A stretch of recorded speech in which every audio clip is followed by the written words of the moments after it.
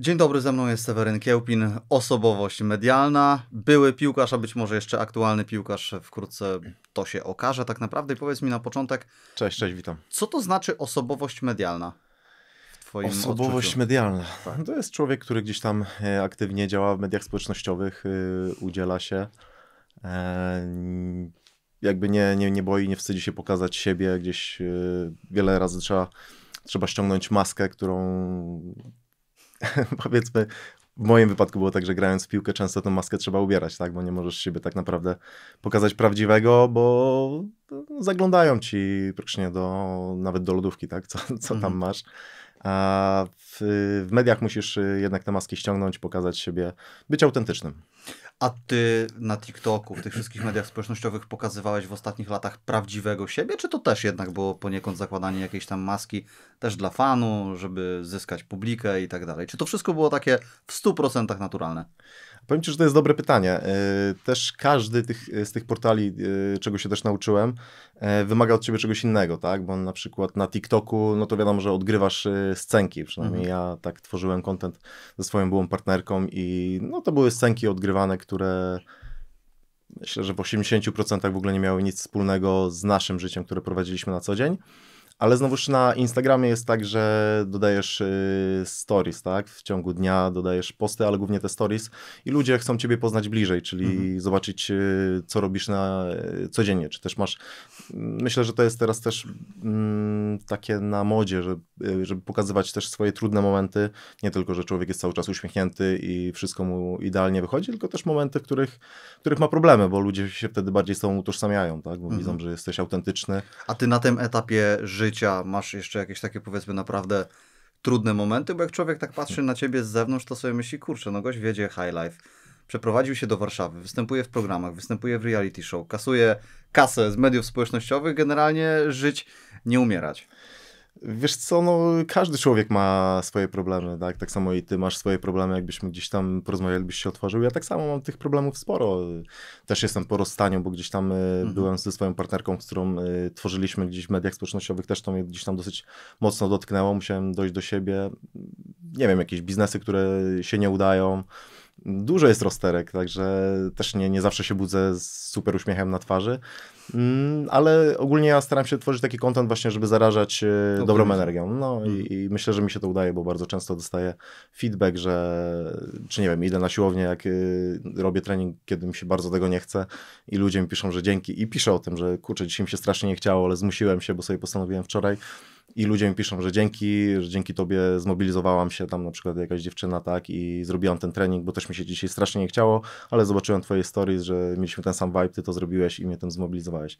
No i takie, takie właśnie, taki feedback mnie bardzo buduje i zachęca do tego, żeby dalej tworzyć. Czy jak ty widzisz na przykład wypowiedzi młodych ludzi, którzy w przeróżnych ankietach w młodym wieku dostają takie pytania, kim chciałbyś być w przyszłości, no to coraz częściej odpowiadają właśnie youtuberem, influencerem i tak dalej, to y, ciebie takie odpowiedzi przerażają, czy z drugiej strony ty to rozumiesz? Bo ja na przykład słowo influencer zawsze rozumiałem w taki sposób, że coś za tobą stoi, jakaś kariera i później ty korzystasz y, właśnie z tego wpływu, który możesz wywierać na innych. Za tobą stoi e, kariera piłkarska, ale też wszedłeś tak naprawdę do takiego świata, który jest mocno specyficzny i wzbudza duże kontrowersje. Nie mówię, że ty konkretnie, ale całe to środowisko. Jak ty na to patrzysz właśnie z takiej perspektywy? Że ludzie, no, wiesz, mogą marzyć akurat- o tym, żeby funkcjonować Mhm, w taki mhm. sposób, a może niekoniecznie od początku mają argumenty. Jeśli człowiek jest naprawdę młody, gdzieś tam, y, nie wiem, kończy liceum i, i, i się zastanawia nad tym, co ma robić, no to zdecydowanie bardziej bym polecał iść najpierw y, do pracy, popracować, y, gdzieś wyrobić sobie dobre nawyki w życiu.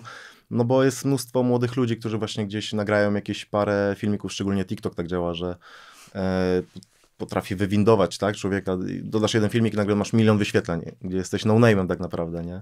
I nagle Mhm. widzisz jakiś tam duży feedback od ludzi, duże zainteresowanie i ci młodzi ludzie myślą, że kurczę, są, nagrają dwa, trzy filmiki, że są gwiazdami internetu, nie? Którzy A jeszcze... potem przychodzi zjazd. Tak, a potem przychodzi zjazd, y, później się gubią w tym, później jest hejt, nie mają y, jakby doświadczenia, nie wiem, y, w pracy, tak? No bo to też jest systematyka, pewne nawyki, które trzeba wyrobić. Owszem, jest, y, jest kilku influencerów, którzy traktują bardzo profesjonalnie y, to jako zawód i, i mam do nich mega szacunek i, i podziw, na przykład Kamil Szymczak czy Ewa Zawada, e, Adrianna Krysian, to są takie osoby, które sumiennie bardzo ciężko pracują na swój sukces, ale mnóstwo ludzi jest, ja też y, dostaję zaproszenia na jakieś tam fame MMA, na jakieś cloudy i gdzieś tam y, siedzę. A na tej... razie dostajesz zaproszenia na gale same, to w Y, sensie no, gdzieś tam, widz, tak? Czy tak, jako, się pojawiają... jako widz, ale już propozycje były. Y, Okej. Praktycznie z każdej tej gali jakieś tam rozmowy już, już gdzieś tam były. I widzisz się w tym? Wiesz co, trenuję sobie sztuki walki, bardziej dla siebie, bo zawsze chciałem trenować. Widziałbym się, żeby sprawdzić się sportowo, niekoniecznie w tych konferencjach, i, i, bo tam dużo takich...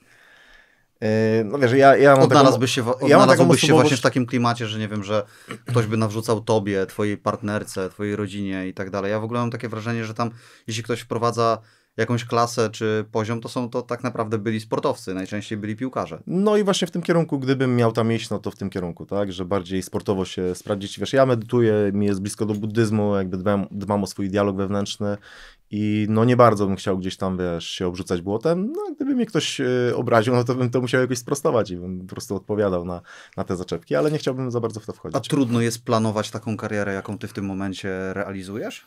Z jednej strony to może być pociągające, no bo są pieniądze, jest jakaś popularność, ale z drugiej strony tak naprawdę często ten internet weryfikuje ludzi. Ktoś, kto jest na topie teraz, za pół roku może nie być. Ciężko jest w ogóle żyć z taką myślą i planować właśnie taką karierę? Wiesz co, u mnie to dosyć spontanicznie wyszło, tak? Bo ja całe życie grałem w piłkę do 30 praktycznie czwartego roku życia. e, Także, także karierę zrobiłem e, piłkarską i płynnie przeszedłem e, za namową właśnie byłej partnerki, żebyśmy zaczęli tworzyć w mediach, na tym TikToku i tak dalej. W pół roku złapaliśmy milion obserwujących i jakby to naturalnie nam wyszło, ale ja już miałem swoją poduszkę taką bezpiecz, bezpieczeństwa, tak? Bo ja gdzieś tam inwestuję też w nieruchomości, mam gdzieś tam jakiś mini hotel w Rzeszowie i tak dalej. Także mając świadomość to, że nie jestem uzależniony od tych mediów, mogę sobie spokojnie tam działać. Eksperymentować. Tak, i, i- jakby nie mam takiej napinki, że muszę, muszę za wszelką cenę, tylko sobie gdzieś tam na luzie działam, traktuję to jakby bardziej, e, że chcę zara zarażać dobrą energią, e, dawać coś dobrego, a nie, że muszę to robić. Mhm. A jaki ty masz cel tak naprawdę na przykład właśnie w tych mediach społecznościowych? Czy ty chcesz jakoś, nie wiem, propagować właśnie ten twój tryb życia właśnie, czyli tam medytacja, jakieś takie zafascynowanie buddyzmem, czy, czy tak naprawdę tutaj chodzi tylko o fan? No bo w tym też w sumie nie, nie ma nic złego, ale pytam, co tobie tak naprawdę przyświeca. E, Wiesz co, największą właśnie frajdę i radość sprawia mi to, jak, jak mam taki pozytywny feedback, że komuś pomogłem, że dużo też młodych piłkarzy do mnie pisze, co mogę zrobić, żeby być lepszym i mogę, wiesz, takiego sobie podpowiedzieć. Gdybym był no-name'em anonimowym, no to ci ludzie by do mnie nie pisali, tak?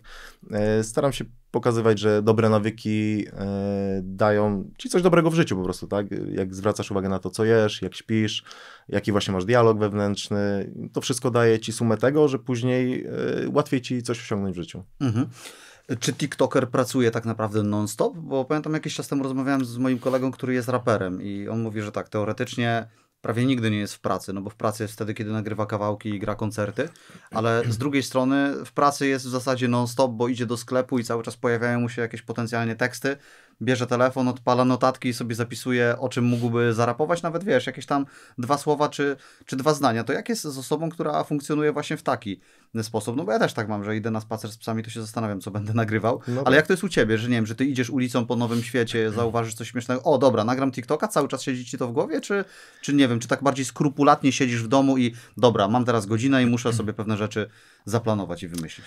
Co, w tym momencie mam teraz takie jakby fazy, tak, że czasami bardziej aktywnie działam yy, gdzieś tam powiedzmy na TikToku i wtedy rzeczywiście tak jest, że idę, widzę jakąś sytuację i myślę, o jakby to ograć fajnie, zrobić tego fajną scenkę. Yy, Wcześniej gdzieś tam bardzo aktywnie tworzyłem właśnie ze swoją byłą partnerką, to praktycznie dziennie nagrywaliśmy po jednym TikToku, no to rzeczywiście było tak, że idziemy na zakupy i jakaś sytuacja, e, że na przykład idziemy kupić jakiś proszek do prania i ona patrzy słodycze, sięga po to i że chce to, ja mówię, o dobry TikTok z tego będzie, no i już nagrywamy, nie, że szliśmy po jakiś tam proszek do prania, ona złapała za jakąś tam czekoladę i to fajnie ogrywamy.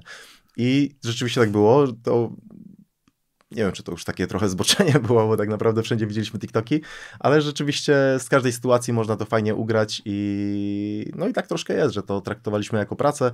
Teraz mam, mówię, takie różne fazy, tak? Czasami bardziej jestem zaangażowany, czasami mniej. A po jakim czasie zaczęliście to traktować jako pracę? Jak w ogóle wyglądał cały ten proces? Kiedy wam to tak strasznie odpaliło? Y, Nagrywaliśmy od grudnia, chyba w w lutym mieliśmy pierwszą propozycję współpracy, jakieś tam perfumy. E, miesiąc po tej pierwszej współpracy zgłosiła się do nas agencja, że już mieliśmy tam z pół miliona obserwujących. Zgłosiła, czy byśmy nie chcieli do nich e, przystąpić. No i zaczęły się współprace po prostu, nie? Także u nas to bardzo szybko poszło, bo tak naprawdę ludzie, żeby ten milion złapać, to często pracują kilka lat. E, to nie jest takie łatwe, no u nas akurat te algorytmy nas polubiły i, i gdzieś ta droga była skrócona.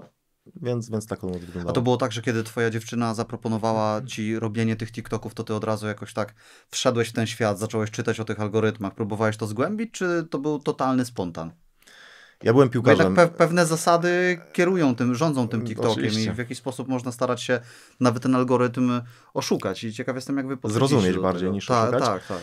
E, no ja grałem jeszcze w piłkę, tak? Na całe życie byłem piłkarzem, wtedy jeszcze w motorze Lublin byłem. Ale z tego też można TikToki robić. Niewielu jest piłkarzy. Można robić, aczkolwiek y, trenerzy, gdzieś tam prezesi wolą, żebyś się... Hamowali, cie, hamowali ciebie? Zdarzało się? No, jakieś tam y, teksty były, nie? Że gdzieś tam rozkojarzony, pewnie już myślisz o TikToku, gdzieś tam wiadomo, tak prześmiewczo bardziej. Ja zawsze miałem dystans do tego, więc się nie przejmowałem. Możesz powiedzieć, że klub promujesz. No, Ja też y, później też nagrywałem, jak Mhm. już na początku były śmiechy, a później jak już gdzieś tam z Akcja, obserwujących, to już akcja- może byś coś tam nagrał dla klubu. Akcja No, promocyjna, no to no wiadomo, i że były, były, były też- innego piłkarza. były też takie, były też takie TikToki, no.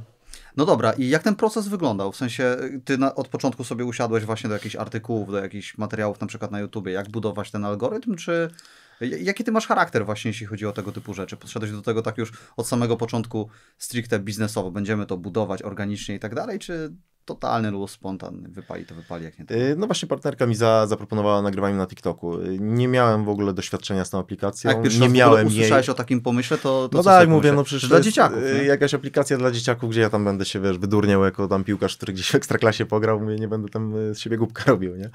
A ona mówi, nie, no spokojnie, zobacz tam sobie, poczytaj o tym i no i rzeczywiście zaangażuję. Ja też tak mam, że jak coś robię, no to się gdzieś tam angażuję w 100%, nie? Czyli jak mam coś robić, to wolę zagłębić ten temat i się oddać temu, jeśli gdzieś tam poważnie to traktuję. A tutaj była z jej strony propozycja poważna, mówię, dobra, e, wchodzimy. Poczytałem właśnie, e, jak działają te algorytmy, była tam jedna sugestia właśnie, żeby przez miesiąc nagrywać po jednym TikToku dziennie. Ja mówię, okej, e, wchodzimy w to, ale umawiamy się, że dziennie nagrywam jednego TikToka, zobaczymy jak to wypali. No i przez miesiąc nagrywania tam właśnie chyba z 200 tysięcy obserwujących przybyło i no da się, da się gdzieś tam...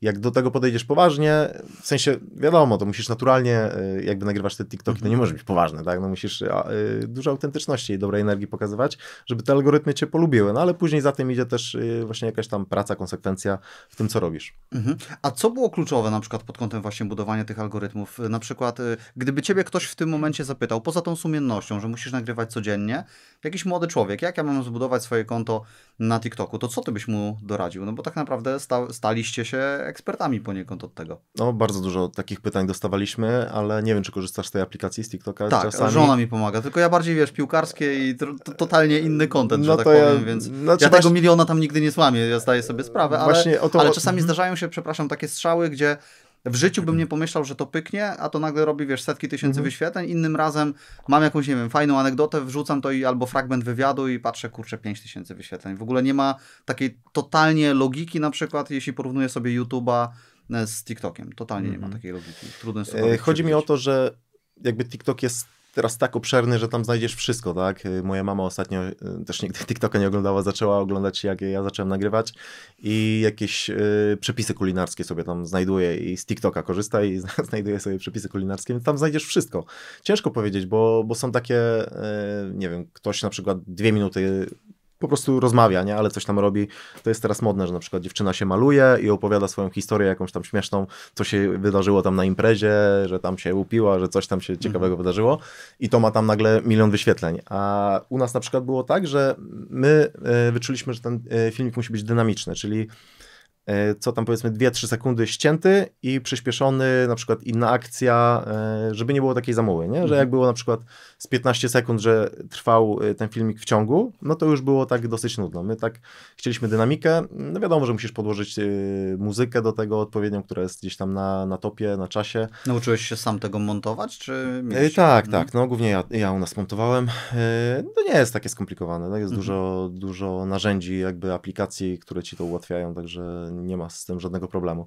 Myślę, że musisz znaleźć jakąś tam niszę dla siebie i jak się czujesz, bo też musisz to odczuwać, tak? No, Mhm. My się odczu, my siebie Znaczy to się generalnie czuliśmy dobrze w chyba tym. przy wszystkich socialach tak naprawdę. Jeśli nie będziesz naturalny, to ludzie błyskawicznie to Tak. zauważą, że nie jesteś i, i tego nie kupią. Dokładnie. Gdybym No- ja takie coś nagrywał jak ty, no to by nie pykło po No, prostu. spróbuj nie, z partnerką i zobaczysz. nie, nie, nie, sądzę, nie sądzę, żeby się zgodziła. Okej. Ale muszę przyznać, że zrobiliście taki sukces właśnie na tym TikToku, że gdybym pewnie zapytał moją żonę, kim jest Eduardo Camavinga, to kojarzyłaby, że jest to gdzieś jakiś piłkarz, który pewnie gra w Realu albo w Barcelonie, a, a was zna. Także to, No, to, to to, już, to już To pozdro. właśnie o jakimś e, Znaczy, sukcesie. Ja też byłem zaskoczony e, a propos tego, że jak grałem w piłkę, okej, rozpoznawali mnie, ale nie było tego tak dużo, nie? Jak grałem w Płocku, to mnie ludzie rozpoznawali, ale poza Płockiem już tak było powiedzmy mniej.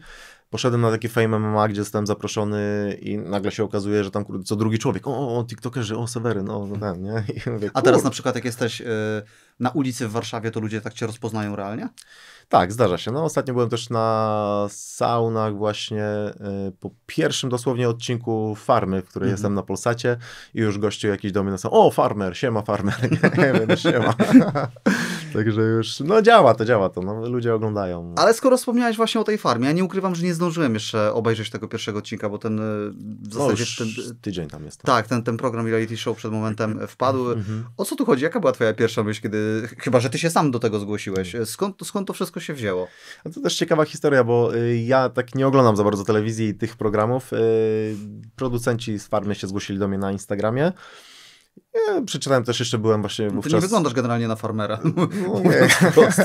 Ale siłę mam, wiesz, więc tam y, pracy się nie boję, przez to, że grałem w piłkę, także też, wiesz, jako bramkarz dużo czasu na ziemi spędzałem w trawie, więc...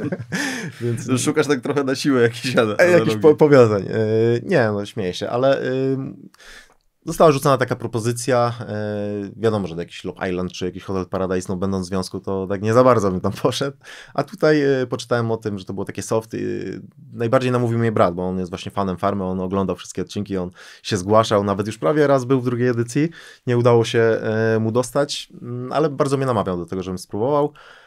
Więc mówię, czemu nie, kurczę. Ych, Tam chodzi o to, że jesteś zamknięty w takiej, e, no jest to farma, tak? Dom plus Mhm. zwierzęta, mm, jest to ogrodzone.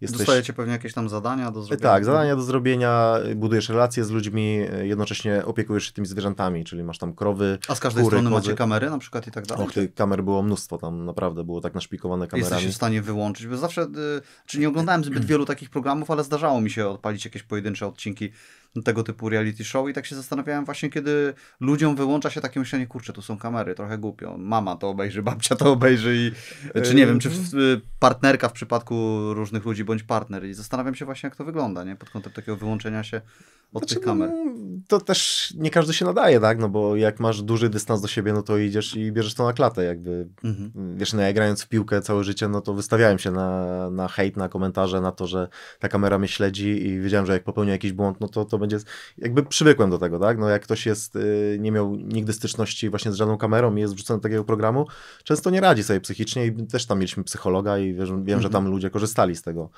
Ja akurat tam nie miałem z tym problemu. Też y, tam chodziło o to, żeby jakieś tam dramy, konflikty były, gdzieś tam ludzie, żeby, żeby tego Żeby smaczku dodawali. Ja niekoniecznie wchodziłem w takie, w takie schematy, bo, bo tak jak y, mówiłem, nie, nie jestem taką osobą, Mhm. która gdzieś y, szuka takich konfliktów. Byłem sobą po prostu, więc, więc też nie wstydziłem się, ani teraz się też nie wstydzę oglądając tego. A, a widzisz siebie na przykład na dłuższą metę w tego typu programach? Gdyby ktoś teraz ci zaproponował właśnie jakieś Love, Love Island, A były Hotel propozycje już. były już takie propozycje, tak? Ale Tak, widzisz siebie w tego typu formatach? Wiesz co, myślałem, myślałem o tym i nie mówię nie, no zobaczymy, zobaczymy. Mhm. Życie pokaże. Okej. y, Czy jest na przykład coś, co opublikowaliście na TikToku i pomyślałeś sobie, kurczę, no chyba to jest za grube? Czy jednak masz ten dystans tak daleko posunięty, że a, poszło to poszło? Dużo było takich filmików. Dużo No było dawaj. takich filmików.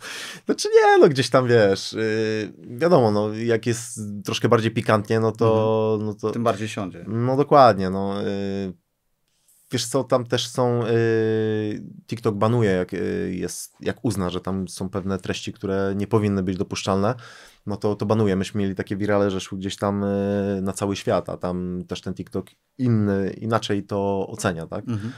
Więc usuwali nam coś, co w Polsce by nie zostało To usunięte. co na przykład zostało usunięte? Nie wiem, no y, na przykład, że moja partnerka przechodzi, ja patrzę, ona jest gdzieś tam y, skąpo bardzo ubrana i ja tak, wiesz, zastanawiam się, ona mnie tam zachęca, gdzieś tam wypina się, no czy dać jej klapsa, czy nie, daję jej Mhm. tego klapsa, nie? Y, No i to tam zostało zbanowane, że tam jakaś seksualność. jest. Chociaż takich y, filmików jest mnóstwo, jakby na TikToku polskim, ale jeśli to trafi na viral y, taki na świat cały, no to już To później... trafia pod kontrolę, e, tak? tak, pod kontrolę, gdzie inne są kontrole po prostu poza, poza Polską. Mhm. W pewnym momencie zaczęło na Twój temat pojawia, pojawiać się sporo takich artykułów o rozstaniu z Twoją partnerką. E, I powiedz mi, jak Ty się w tym na przykład odnajdywałeś? Czy pomyślałeś sobie, kurczę, ja już jestem takim celebrytą, że w sumie to dobrze, że okazują mi tak duże zainteresowanie, że nawet te wszystkie serwisy plotkarskie piszą o, o moim życiu prywatnym, czy pomyślałeś sobie, kurczę, no nie czuję się w tym komfortowo, trochę chyba to poszło za daleko. No bo też ludzie śledzili Was jako parę, więc oboje zapewne musieliście się w jakiś sposób do tego odnieść, że już ze sobą nie jesteście. Ale tobie na przykład taki stan rzeczy wtedy odpowiadał, czy czułeś się niekomfortowo z tym? Znaczy nie, że czułem się niekomfortowo, ale gdzieś tam trafiło to na pudelka, e, że się rozstaliśmy. Jakby nie, nie, nie czułem takiej potrzeby, żeby z tego robić jakiś fame i Mhm. Wolałem, żeby to nie trafiało szerzej. Ja dałem, e, dałem jakieś tam, wiesz, e, informacje o tym, że się rozstaliśmy, że po prostu próbowaliśmy, nie wyszło, tak to w życiu bywa. Jakby nie będę tutaj szerzej tego opisywał, bo to jest gdzieś tam nasza prywatna sprawa. Poinformowałem, że tak, tak było, ale nie czułem e, się zobligowany do tego, żeby tam wchodzić w szczegóły, kto, ko- kto zawinił, kto nie zawinił. Mm, tyle. A taki świat celebrytów cię kręci, żeby funkcjonować właśnie w taki sposób, żeby bywać na tych ściankach, na tych wszystkich eventach, żeby mieć zaplanowane dzisiaj event taki, dzisiaj event taki, tutaj promocja nowych butów, tu promocja filmu, żeby się pokazać? No niekoniecznie. Mam dużo właśnie jakichś tam zaproszeń na eventy, z których rezygnuję, bo no nie mam aż takiej presji. Bardziej yy, wolę tworzyć sobie tak na luzie, tak? Robię sobie jakieś tam yy, współprace, które wybieram, które też Mhm. odczuwam. Nie jest tak, że mm, trafia do mnie jakaś tam współpraca pierwsza lepsza i w ogóle tego nie sprawdzam, tylko tam dają hajs, więc to biorę. Tylko zawsze gdzieś tam sobie sprawdzę, co to jest. Y, Bardzo dużo też y, dla psiaka robię re- reklam, nie? Jakieś Mhm. tam artykuły y, spożywcze, jakieś jedzonko, jakieś karmy i tak dalej. Także też zawsze sobie sprawdzę, czy ta karma jest dobra, żeby jakiegoś tam chłamu nie reklamować. Mm, A gdybyś miał powiedzieć, na czym polega twój fenomen w mediach społecznościowych, albo wasz fenomen, no ty cały czas funkcjonujesz oczywiście, to jak byś to zdefiniował, poza tą autentycznością? Co takiego ludzi aż tak przykuło właśnie do ciebie? Mm, Myślę, że właśnie dużo takiego uśmiechu, dobrej energii, no bo ludzie gdzieś tego poszukują, tak? No też yy, wiadomo, jak ktoś gdzieś tam łączy sobie telewizor, jakieś tam wiadomości, to jest zasypywany różnymi problemami, że tu inflacja, tutaj wojna, tu gdzieś yy, polityczne zmiany, nie wiadomo co, co będzie, bo, bo specjalnie telewizja trzyma nas w takim szachu, żebyśmy byli zestresowani, więc ludzie mają potrzebę rozluźnienia się, tak? No wtedy sobie człowiek odpala gdzieś tam wieczorkiem tego TikToka, no i nie szuka tego, co, co na co dzień dostaje, tych, tych, tych takich y, bombardowań negatywną energią, tylko właśnie czegoś pozytywnego. No myśmy bardzo dużo uśmiechu przekazywali dalej, ja tak samo tworzę, że, że chcę dawać tą dobrą energię i myślę, że, że to jest, no, też jestem y, raczej w tym autentyczny, nie udaję czegoś. Też jak mam jakiś tam y, gorszy dzień, y, bo też takie miewam, no to na siłę nie nagrywam. Wtedy Mhm. też wiem, że okej, to nie jest dobry czas, nie będę udawał e, kogoś, kim nie jestem, tylko czekam, żeby ta energia była odpowiednia, żeby być właśnie, no myślę, że ta autentyczność, mimo że nie chciałeś tego usłyszeć, no to, to jednak to jest, to jest A istotne. skąd fascynacja buddyzmem, właśnie jakimś takim tematem, mindfulness, medytacja i tak dalej? Czy tobie to się odpaliło jeszcze w trakcie kariery piłkarskiej, czy, czy później? Tak, w trakcie e, kariery piłkarskiej, no bo e, gdzieś jako młody dzieciak e, bardzo mocno się stresowałem, tak? Były jakieś mecze, no to kurczę, cały tydzień się przygotowywałem do tego, mówię, kurde, muszę tam być najlepszy i im byłem bardziej napięty, tym mi kurczę gorzej szło, a zauważyłem, że jak gdzieś tam się zdystansuję do tego, jakby spędzę sobie nawet w ciągu dnia czas gdzieś tam z, z przyjaciółmi, gdzieś tam porozmawiam, nie myślę cały czas, nie bodźcuję się tym meczem, no to widziałem, że mam lepsze flow później na meczu, że jednak kurczę, no ten balans. y, Myślę, że słowo klucz ogólnie w życiu to jest balans.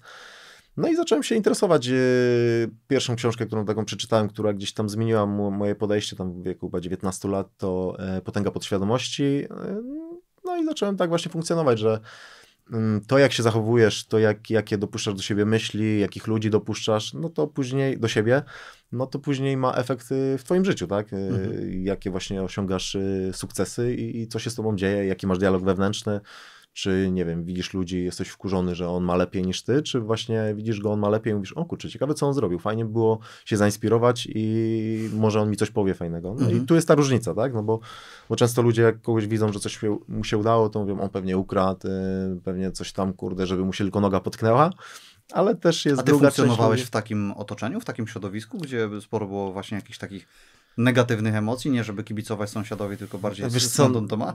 jak grasz piłkę, no to wiesz, jak to wygląda na trybunach, nie? No jest No trybunach mnóstwo tak, hejtu. ale No to, no to wiesz, się- no to ja żyjąc, grając w piłkę, no to miałem tego hejtu od groma. Ja, jak, jak ja grałem w, e, w Polonii Bytom, jak zaczynałem, debiutowałem w Ekstraklasie w wieku tam 20 czy 21 lat, będąc wychowankiem Górnika Zabrze, gdzie Polonia Bytom się z Górnikiem Zabrze nienawidziła.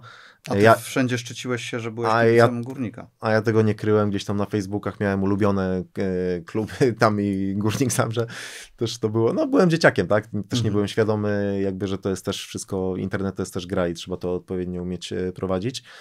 No ale tak, no i tego hejtu tam dostawałem e, takiego poważnego dużo, nie, że tam mi spalą auto, że tam kogoś z rodziny mi tam znajdą, że mi połamią nogi, jak mnie złapią. Ale mówisz o takim hejcie internetowym, czy po prostu słyszałeś to na przykład Nie, internetowym, głównie Okej. internetowym, aczkolwiek były też sytuacje, e, znaczy takich prywatnych zaczepek nie miałem, ale na jak wiadomo, jak ludzie są w grupie, to inaczej funkcjonują, Mhm. więc, więc było tak, że kibice, jak tam już było, byli na meczu, no to, to gdzieś tam razem, jeszcze nie daj Boże, jak się trafiło, że jakiś tam błąd e, popełniłem, no to moi kibice to też e, suchej nitki nie zostawiali na mnie.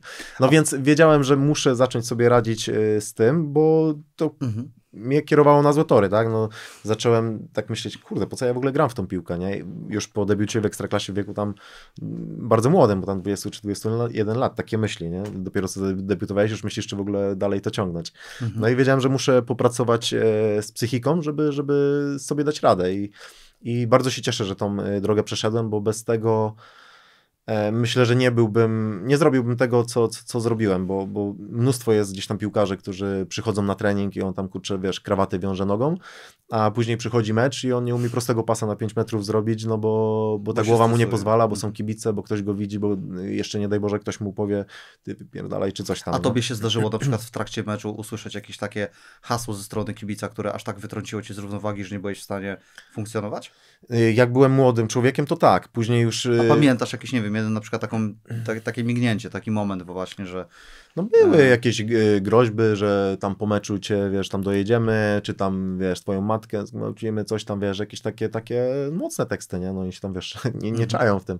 Więc no wiedziałem, że muszę sobie z tym y, gdzieś tam radzić, ale później już właśnie w Ekstraklasie, no już nawet wcześniej, tak, no bo, bo gdzieś tam w tej pierwszej lidze, będąc właśnie w Wiśle Płock, myślę, że największy przełom taki psychiczny, psychologiczny zrobiłem, że później jak już y, słyszałem jakby hejty, to mnie to napędzało, nie? Że Mhm. mówię, o kurde, znaczy jakby nawet o tym nie myślałem, tylko aut z automatu tak to działało, że ktoś y, mnie obraża, no to mnie docenia, tak? No bo skupia energię swoją na mnie, czyli znaczy, że ja robię coś dobrze, tak? I on Mhm. chce mnie wyprowadzić z tego, z tego, co dobrze robię. A słuchaj, co to była za historia w juniorach? e, Nie wiem, czy górnika, czy w jakiejś innej drużynie, ale słyszałem taką historię, że potrąciły cię dwa auta, kiedy szedłeś na trening? Było tak, no. O co tu to, chodzi? to była gruba jazda. Jak to jest możliwe? I że ty po, po tych wypadkach tak czy inaczej ruszyłeś na ten trening, tak? Nie, nie, no aż, ta- aż tak dobrze nie Okej, było. No to w takim razie tutaj e, moje źródło się pomyliło. Aż takim robokopem nie jestem, ale, ale no tak było. E, Byłem gdzieś tam spóźniony na trening, jechałem zawsze takim e, jedną linią autobusa, autobusu i zawsze był, zazwyczaj był jeden kierowca, który mnie już bardzo dobrze znał, bo ja tam Mhm. Powiedzmy, nie wiem, 5 lat jeździłem czy ileś, nie? No i poprosiłem go, żeby mi się zatrzymał bez przystanku na wysokości bramy e, stadionu Górnika. No i on mi się zatrzymał, stanął na jednym pasie, tak troszkę zjechał tak w połowie pasa. No ja y, wyszedłem przed ten autobus, spojrzałem w prawo, y, czy jedzie auto, ono tam jechało, mówię, dobra, zdążę, przebiegam. I mijam ten autobus, a tutaj ktoś ten zaparkowany autobus z drugiego pasa mijał, jakby Okej, z no drugiej strony. rozumiem.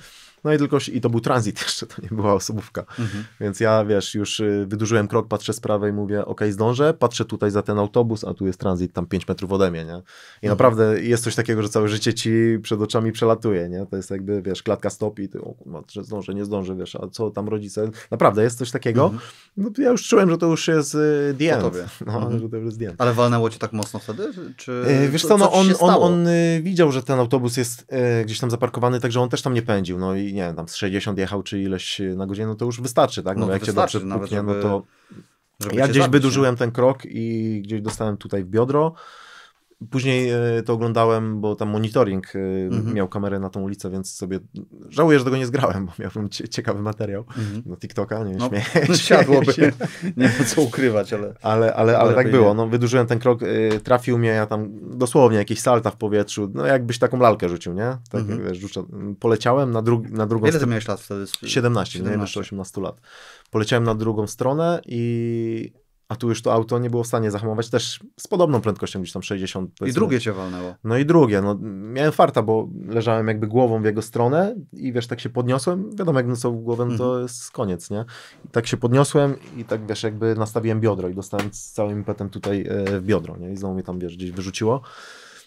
E, Buty mi gdzieś tam spadły, a się mówi, że jak Tak, jest potrącony wiadomo. i spadają buty, to, to, to nie ma szans, żeby przeżył, nie? No Mhm. ale no byłem cały, bo to było lato, no, no, wiesz, w krótkim, e, w krótkiej koszulce, w krótkich spodenkach, cały we krwi i później chyba z tydzień nie mogłem w ogóle się położyć, nie? To, Mhm. mm, tak. Ale połamało cię, czy skończyło Nie, się na nic, poobijaniu? nic mi się nie złamało. Cała twarz, wszystko we krwi było.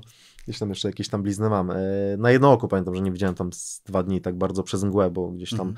ale wiesz, miałem badania, czy wstrząs mózgu, czy ten, nic, nic tam nie wyszło.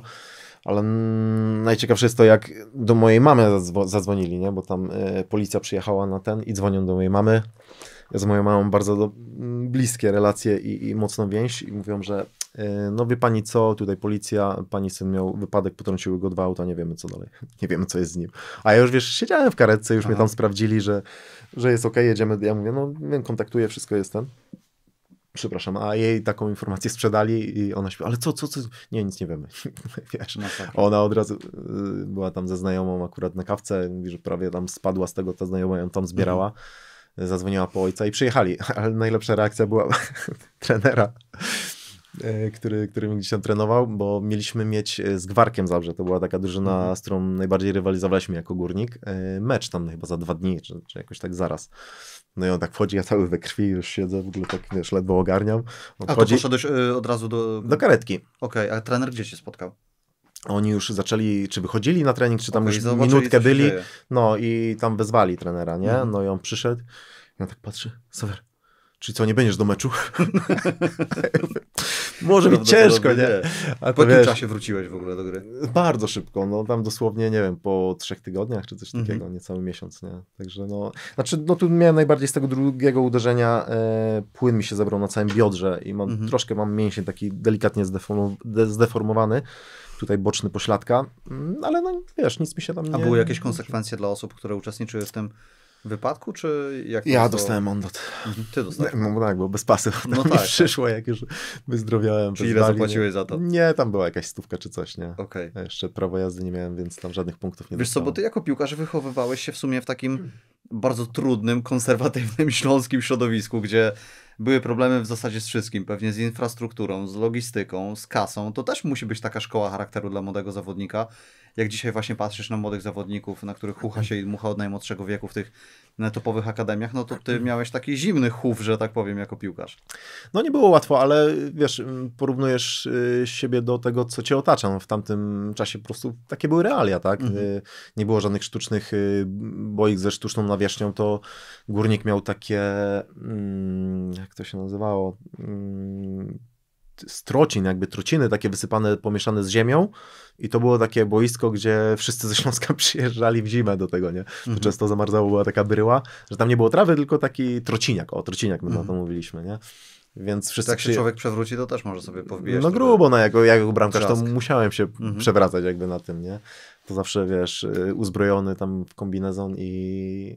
No ale tak jak mówię, no wtedy porównujesz się do tego, co jest dookoła, no jak do nas przyje, przyjeżdżali na to boisko, no mówię, no to jestem w dobrym miejscu, bo do nas przyjeżdżają, nie? Mhm. No nie było łatwo, wiadomo, nie było... Y, też tak nie było ludzi, którzy dbali o, o tą młodzież po prostu. Wszyscy koncentrowali się na tym, że jest pierwsza drużyna, tam boisko ma być ogarnięte, a reszta, no to tam niech y, mają po prostu bramki, e, jakiś wyznaczony teren, niech sobie tam trenują. No teraz y, ludzie zrozumieli, że, że jakby, znaczy no to jest biznes, tak? Piłka nożna to jest biznes, więc e, pieniążki tkwią w młodych ludziach. Jak się ich Mhm. później dobrze wyszkoli, no to z nich się po prostu zarabia. No wtedy A ty tak byłeś dużym talentem wtedy? Jako, jako piłkarz? Jak klub do ciebie podchodził? Jako jednego z wielu, czy raczej takiego, który się wybijał? No raczej byłem takim e, wyróżniającym się bramkarzem, e, praktycznie, bo bardzo dużo e, turniejów mieliśmy, mhm. co drugi turniej nagrody najlepszego bramkarza zgarniałem, no to gdzieś tam w wieku 16 lat już jakiś pierwszy menadżer się zainteresował, chciał mnie gdzieś tam wysłać do Herty Berlin na, na jakieś testy, pod, mhm. pod jakąś tam jedynkę nawet już w wieku tam chyba 17 lat. No ale nie grzeszyłem wzrostem nigdy jako bramkarz, tak? 1,84 m, no to, to gdzieś tam było za mało i, i właśnie często to była ta bariera, mhm. że jakby dał moje CV, tam wiesz, nagrodę najlepszego bramkarza, to już z jedynką trenowałem w wieku tam 16 lat, bo mnie brali gdzieś tam raz w tygodniu zawsze e, na treningi.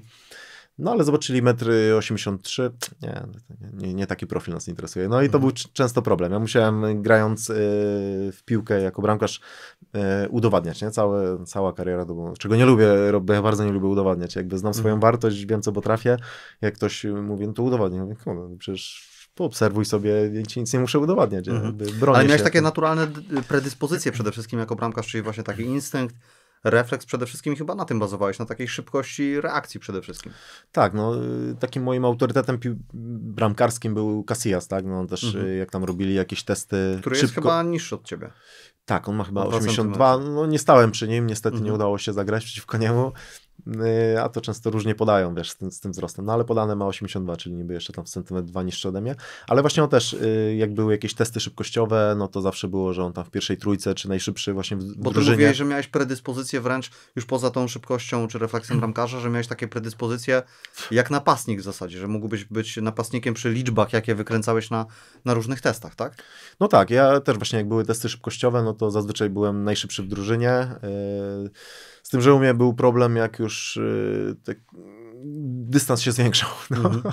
Też zawsze pamiętam, y, już tam w gimnazjum gdzieś tam y, chcieli mnie wziąć na jakieś tam zawody, znaczy chcieli mnie wziąć, y, zainteresował się klub, żebym przystąpił do niego, a ja już trenowałem piłkę nożną, bo, bo gdzieś tam byłem sprinterem, ale jeździłem na zawody, był na przykład skok w dal, właśnie jakieś sprinty, skok z wyż, to ja tam wszędzie pierwszy, pierwszy, pierwszy, mm -hmm. a później było kilometr. No i ja biegłem kilometr i mnie dublowali w tym kilometrze, ja bardzo nie wiem długich, długich dystansów, byłem typowym sprinterem, no i tak, no. Więc, więc dlatego, bo zastanawiam, mhm. jeszcze nawiążę do tego, zastanawiałem się nawet już jak, y, nawet w wieku 20-21 lat, jak zadebiutowałem w Ekstraklasie jako bramkarz, ja się zastanawiałem, pozycji. czy nie zmienić pozycji.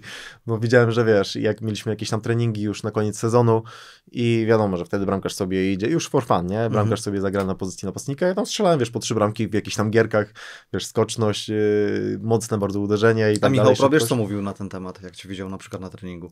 Widział w tobie takie predyspozycje, czy... Nie, no raczej no, jemu zawdzięczam, bo dał mi zadebiutować no w, właśnie, w no Ekstraklasie, właśnie. ale no jednak y, zostanie mm. tym bramkarzem. Poznałeś, poznałeś tego wstępnego Michała Probierza, tego, który tak naprawdę rozpoczynał swoją e, karierę trenerską. Jak ty go wspominasz? Jaki to był człowiek w tamtym czasie? Yy, nauczył mnie takiego yy, jakby autorytetu mocnego do trenera, bo pamiętam taką pierwszą, chyba przyszedł później... A ty, przepraszam, nie, nie zetknąłeś się też z nim jako z zawodnikiem gdzieś w którymś momencie? Na jakimś treningu w Zabrzu, czy nie było takiej sytuacji? Chyba nie, chyba nie, okay, chyba nie. Okay. Chyba w no późniejszych dobra, to... czasach przystąpiłem. Okay, on, on tam to wracając jeszcze... jeszcze... No z Górnika oczywiście go bardzo dobrze pamiętam, mm -hmm. bo mhm. był strasznie charakternym człowiekiem, tak, do, tak, do tej tak. pory jest ale no, pamiętam zawsze właśnie jak y, gdzieś powiedzmy kogoś sfaulował i później sędzia mówi weź tam dajcie sobie rękę, on tak bardzo nie chciał, później jak już łapał gościa, to nim tak trząsł, dobra dam ci tą rękę, nie? Tak, po, podawał rękę, ale tam jeszcze sztukę No patrzy, patrzy się Bogu i nim trząsł tym gościem. takie, takie charakterystyczne. Za to go też y, kibice bardzo szanowali i lubili w Górniku.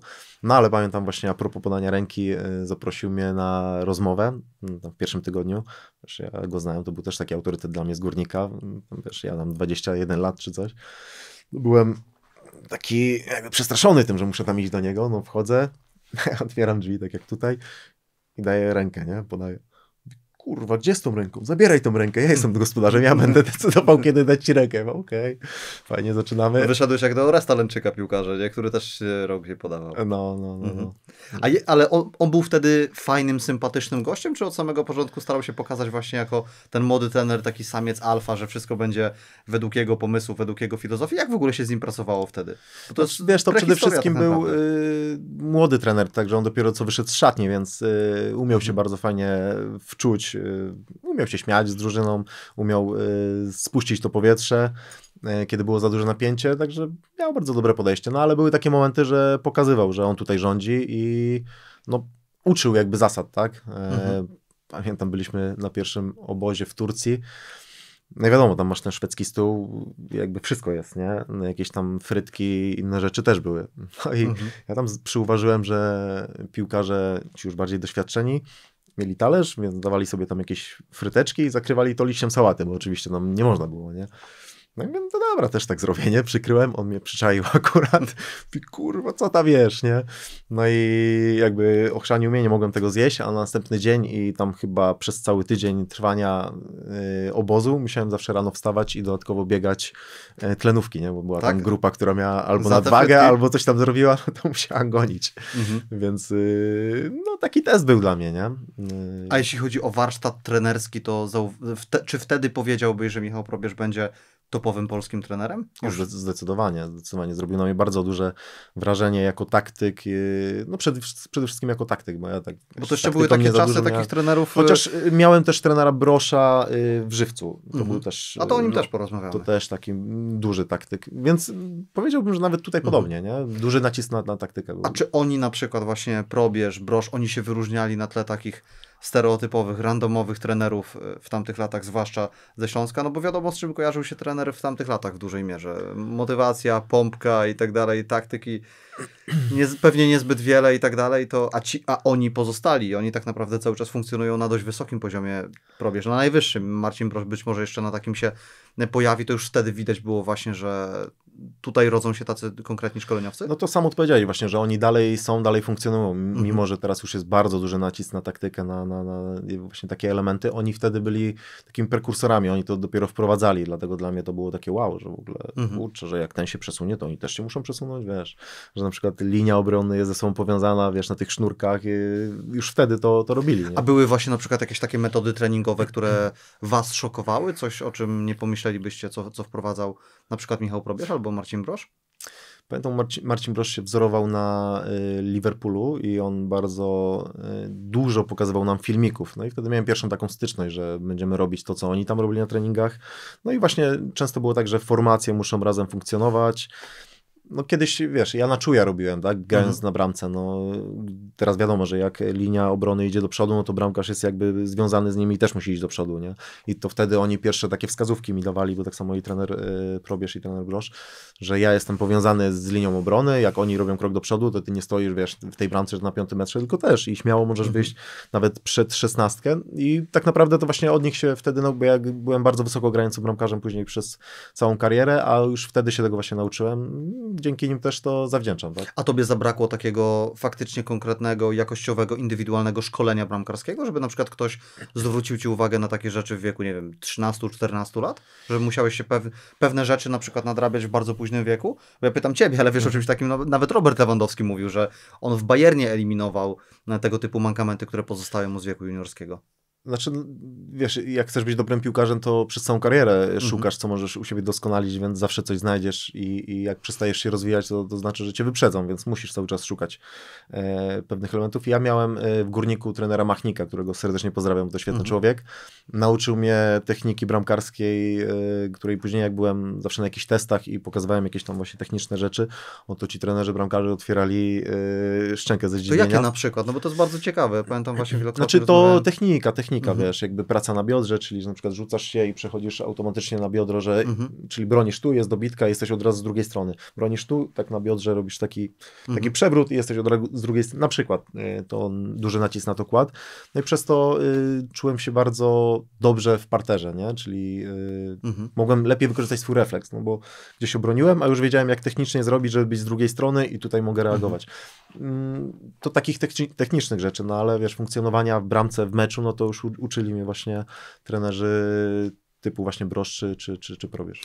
A czym różnił się Marcin Brosz jako charakter, jako człowiek od Michała Probierza? Bo ja pamiętam, że kiedy on rozpoczynał swoją pracę w Ekstraklasie, jeszcze telewizja Orange pokazywała te mecze, to Marcin Brosz był jedynym szkoleniowcem, który nie chciał udzielać wywiadów, bo nie czuł się komfortowo i wtedy tak się zastanawiałem, kurczę, trener nie chce udzielać wywiadu, boi się, żeby stanąć tak naprawdę z dziennikarzem, tak jak staje każdy, to jak on funkcjonuje w szatni, jaki on jest w stosunku do piłkarzy. I on później po latach przyznawał, że to był błąd, że on pewnych rzeczy musiał się nauczyć i dzisiaj nie ma z tym żadnego problemu, więc jaki on był w młodym wieku właśnie, jeśli chodzi o, o taką charyzmę nawet, czy, czy takie wyczucie emocjonalne zawodników?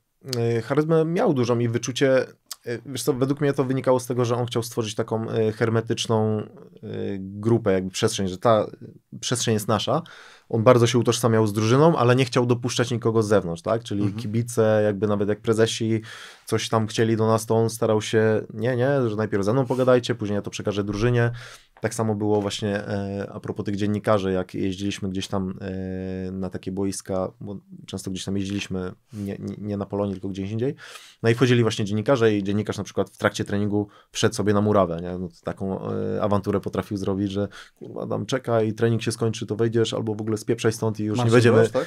E, probierz. A probierz, okej, okay, bo no. Brosza trudno mi sobie wyobrazić takie Nie, to, to, to, to trener probierz, nie? I potrafił, wiesz, wyzywać dziennikarza, że on gdzieś tam krok zrobił na, na murawę, ale myślę, że to było spowodowane tym, że chciał tak hermetycznie chronić tą, tą grupę, e, że my jesteśmy my, a ktoś inny musi tam poprosić albo poczekać na swoją kolej. No i myśmy się czuli z tym komfortowo, nie? bo mhm. czuliśmy się zaopiekowani.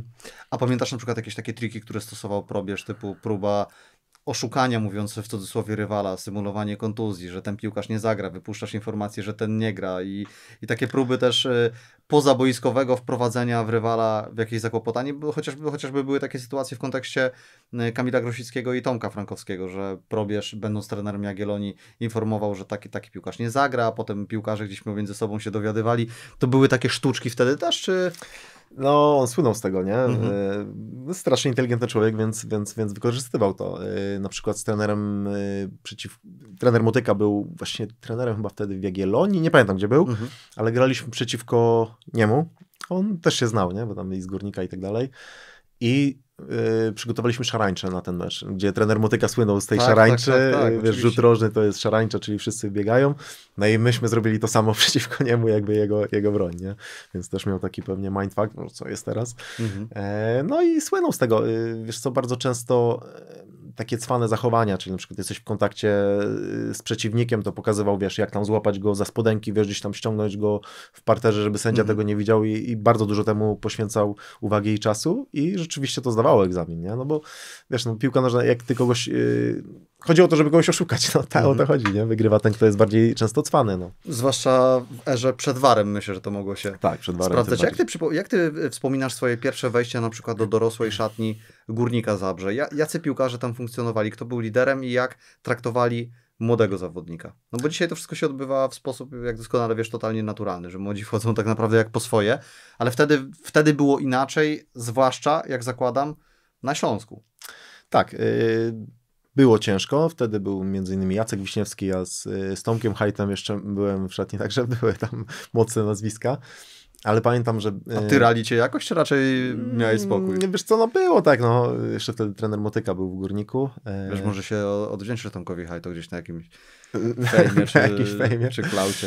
Pytali się z klautu, czy bym e, z nim zawalczył, mówię, nie ma problemu, nie? Także ja tam jestem otwarty, ale jakby wracając, e, no było tak, że na przykład bramkarze byli odpowiedzialni za ubieranie siatek mhm. i to nie były takie e, siatki jak teraz, że ją sobie tam złapiesz, one są bardzo lekkie, to jest inny materiał, tylko one wtedy, wiesz, były nasączone jak po jakieś. Tak, rybackie po tych deszczach, czy tam w zimę zamrożone, one tam ważyły kurde z 15-20 kilo, wiesz, niesiesz tą siatkę, no to ja jako młody to musiałem jedną na jedną rękę, drugą na drugą, wiesz, i wycieczka, bo tam na boisko też się szło tam, wiesz, z 300 czy tam ileś metrów, więc ja zaniosłem tą, y, te siatki, już byłem, wiesz, zajechany, zmęczony, a tam y, trener patrzy i mówi, dlaczego tylko dwie siatki? Dawaj, i wiesz, rzucałem i, i wyganiał je po następną, nie? Także, no młodzi mieli ciężko, nie? Tak, tak samo jak kiedyś w wojsku, jak ktoś przyszedł nowy, no to wiesz, miał te fale i tak dalej.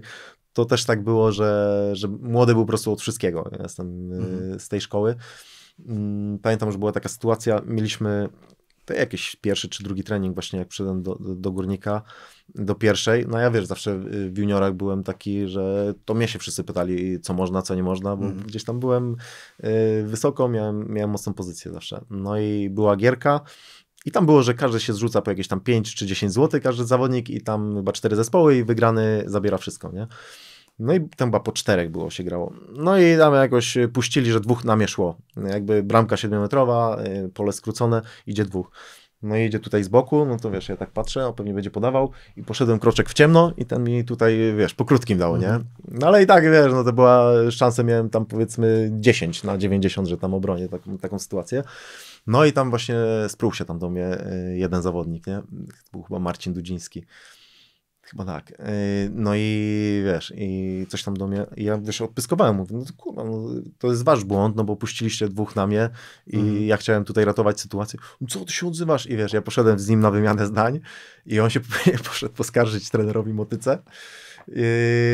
No i ten mnie tam dosyć mocno zrugał, nie? I tak jakby ustawił mnie do pionu, mówi, że no młody, jak chcesz y, tutaj być, no to musisz tutaj do starszych zawodników Z szacunkiem. z szacunkiem. A to nie było brak szacunku, tylko po prostu Mhm. odpowiedziałem mu tak jak było, nie? No, że Mhm. tam oni zrobili błąd i ten. No ale jakby szybko zostałem utemperowany, że no musisz znać swoje miejsce. Nie? A czy Tomek Hajto weryfikował twoją garderobę albo na przykład wartość zegarka, jak wchodziłeś do szatni, czy nie?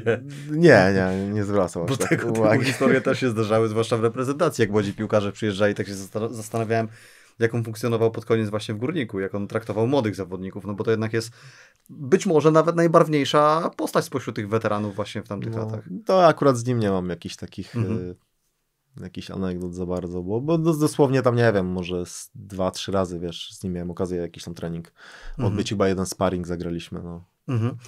E, powiedz, jak wyglądało w ogóle funkcjonowanie młodego piłkarza w tamtym czasie w śląskich klubach? Wy mogliście normalnie zarabiać? No bo też wiele klubów z tamtego okresu kojarzyło się z tym, że były jakieś poślizgi, opóźnienia w wypłatach i zakładam, że dla młodego zawodnika to też pewnie nie było komfortowo i że ciebie też taka proza życia trochę dotknęła. E, No, tak było. No. Wiesz co, ja byłem w Polonii Bytom, która e, słynęła z tego, że mają duże zaległości i, i są dosyć mocno niewypłacalni. Mm, No to było tak, że w, zadebiutowałem w Ekstraklasie chyba w lutym. A dlaczego ty w ogóle, y, przepraszam, to jeszcze przejdziemy do tych Mhm. kwestii y, finansowych, ale dlaczego ty wtedy tak naprawdę nie zbudowałeś sobie jakiegokolwiek statusu w ekstraklasie, bo później na ekstraklasę musiałeś czekać wiele lat, żeby zacząć w niej grać regularnie. E, Czego tobie wtedy zabrakło? Wiesz co, też nie do końca miałem przychylnego trenera bramkarzy, bo to też jest y, bardzo istotne. Y, wtedy właśnie trener Drescher nie za bardzo przy, przy, przychylnie na mnie patrzył, też miał taki charakter. Ja też, wiesz, miałem właśnie kolczyk y, w uszach, Mhm. tutaj jakiś tam złoty zegarek, lubiłem jakby dbać y, o to, jak wyglądam. Nie byłem y, w ogóle jakiś taki, wiesz, hamski, czy po prostu lubiłem dobrze wyglądać Mhm. i, i, Może i trzeba było dbać zostawiać o w siebie. domu po prostu, jak na trening szedłeś. Mm, Wiesz co, nie robiłem nikomu żadnej krzywdy Mhm. i miałem tą świadomość, yy, wiem, że wtedy były czasy, jakby ludzie byli niedo, niedoedukowani, bo to nie był mój problem i to nie była, wiesz, Mhm. jakaś e, moje, moje zła, zła, złe- zachowanie, no ale ludzie jakby inaczej wychowani, czy tam zwracali na takie uwagi i to był dla nich problem, tak? Nie to, jak ty na treningu pracujesz, bo ja zawsze na treningach dawałem z siebie maksa, tylko to, jak wyglądasz, nie? Czy Mhm. tam jakie masz poglądy, czy coś takiego. No i tam wiele, z wieloma rzeczami się nie zgadzał, więc tam gdzieś dosyć mocno mnie kasował, jak miał tylko możliwość, nie? Że na Mhm. przykład ja zrobiłem y, jakiś błąd, no to go piętnował, jak na przykład mój konkurent zrobił taki sam błąd, no to tam, a dobra, no to to się zdarza, nie? A Wiesz, kto był no. twoim konkurentem wtedy dokładnie w Bytom? Yy, Misio Peskowicz, mega, mega fajny facet. Mhm. I to Yy, jest bardzo dobry bramkarz tak naprawdę tak. w późniejszych latach. tak, tak. Yy, Juszczyk też, Marcin, Mhm. nie wiem czy kojarzysz. Były bramkarz Wisły. Były Mhm. bramkarz Wisły. Wieczny No to oni, oni tak e, głównie, no, no, no. Mhm. Później właśnie jak, właśnie jak mi się odszedł, no to e, z Marcinem Juszczykiem rywalizowałem. No i tutaj gdzieś widziałem, że właśnie trener Drescher go bardziej pcha do przodu, nie? Mhm. Mimo, że pierwszy trener był trochę bardziej za mną, ale później gdzieś tam, no wiesz, no to, to życie piłkarza tak wygląda, no jesteś w różnych miejscach, z różnymi ludźmi współpracujesz, no i myślę, że te relacje są też e, mega Mhm. istotne. Nie wiadomo, że gdzieś tam jakieś szczęście też jest e, przydatne, na przykład debiutujesz, nie wiem, tak jak na przykład y, do Stali Mielec później poszedłem y, po, po Wiśle Płock, miałem debiut, gdzie karnego obroniłem, wiesz, dobitkę, y, obroniłem na zero, zagrałem, wiesz, super wejście, Pierwsze no to wiadomo, że... robi się tylko raz. No właśnie o to chodzi i tu już cię kibice pokochają, już masz jakby zaufanie, super, nie? A wejdziesz na przykład gdzieś ci coś nie pójdzie, akurat miałeś gorszy dzień, no i już to rzutuje później jakby na ten cały twój kontrakt, no bo już mówią, a pa, pamiętasz jak on zagrał ten mecz, jak dopiero przyszedł i no i, no i tak gdzieś troszkę szczęścia, ludzie, z którymi akurat jesteś, czy, czy będziesz miał z tymi trenerami, wiesz, jakiś tam vibe, no bo to jest też bardzo istotne, czy A z kim miałeś dobry vibe z tamtej drużyny Polonii Bytom? Bo jak się patrzy z dzisiejszej perspektywy na tamtą kadrę, to niby Polonia Bytom jak Polonia Bytom, jeden klub z wielu, ale tam było sporo naprawdę interesujących osobowości, bo był Paweł Stanio, Rafał Grzyb, Jacek Trzeciak, Grzegorz Podstawek, który swego czasu miał mega okres w Ekstraklasie i co chwilkę strzelał gole. No to akurat są wszyscy zawodnicy tacy bardziej doświadczeni, tak? No oni tam byli ode mnie starsi. Tak, ale byli też piłkarze, którzy się wybijali. Pamiętam mecz y, Akurat w tym momencie mówię z pamięci, więc nie jestem pewny, czy ty wtedy grałeś w Polonii Bytom, ale jak chyba Komor strzelił trzy gole z Lechią, tak? tak Będąc tak, tak. obrońcą. obrońcą. I tak naprawdę wtedy nastąpiła eksplozja. Później też, się, no. później też Kuba Świerczok. Jak, jak ty się tam właśnie odnajdywałeś właśnie w tej, w tej szatni, bo to była bardzo kolorowa szatnia. Było kolorowo. No na pewno nas to scalało, że jakby wracając do tego, że tych pieniędzy nie mieliśmy, no to ja zadebiutowałem e, w lutym w Ekstraklasie, a w czerwcu e, pół roku będąc piłkarzem Ekstraklasy musiałem od mamy pożyczać na wakacje jakieś tam nad Polskie Morze, nie? Pieniążki, bo, bo jakby pół roku nie płacili i to mhm. było na porządku dziennym. E, I to Odzyskałeś w ogóle tę kasę całą? E, całej nie, ale no większość, tam powiedzmy 80% e, mhm. odzyskałem, bo tam oni później w jakieś tam akcje to zamieniali, które teraz nie są nic warte. No a, a miałeś tam... takie sytuacje, przepraszam, chyba w Widzewie były takie sytuacje, że właściciel Widzewa nie płacił piłkarzom i proponował im że może im dać jakąś ziemię na przykład. Chyba któryś z Brazylijczyków powiedział, jaką ziemię, w ogóle spoko. ziemię to ja sobie mogę do doniczki nasypać w Brazylii, po co mi ziemia na przykład pod łodzią. Mieliście takie sytuacje? Nie, nam że w zamian y, za kasę coś tam dostaniecie? Akurat nie, ziemią bym nie pogardził. Bo to jest no ty do... tak, ale wiesz, ale Brazylijczyk ziemia pod łodzią to tak No okej, okay, tak no trochę, trochę, gorzej. Yy, wiesz co, na akcje nam zamieniali, nie? Mhm. Byłem akcjonariuszem Polonii Bytom i w sumie dalej jestem, ale te akcje nie są nic, nic niestety warte. Ale brzmi dumnie. Ale brzmi dumnie, nie?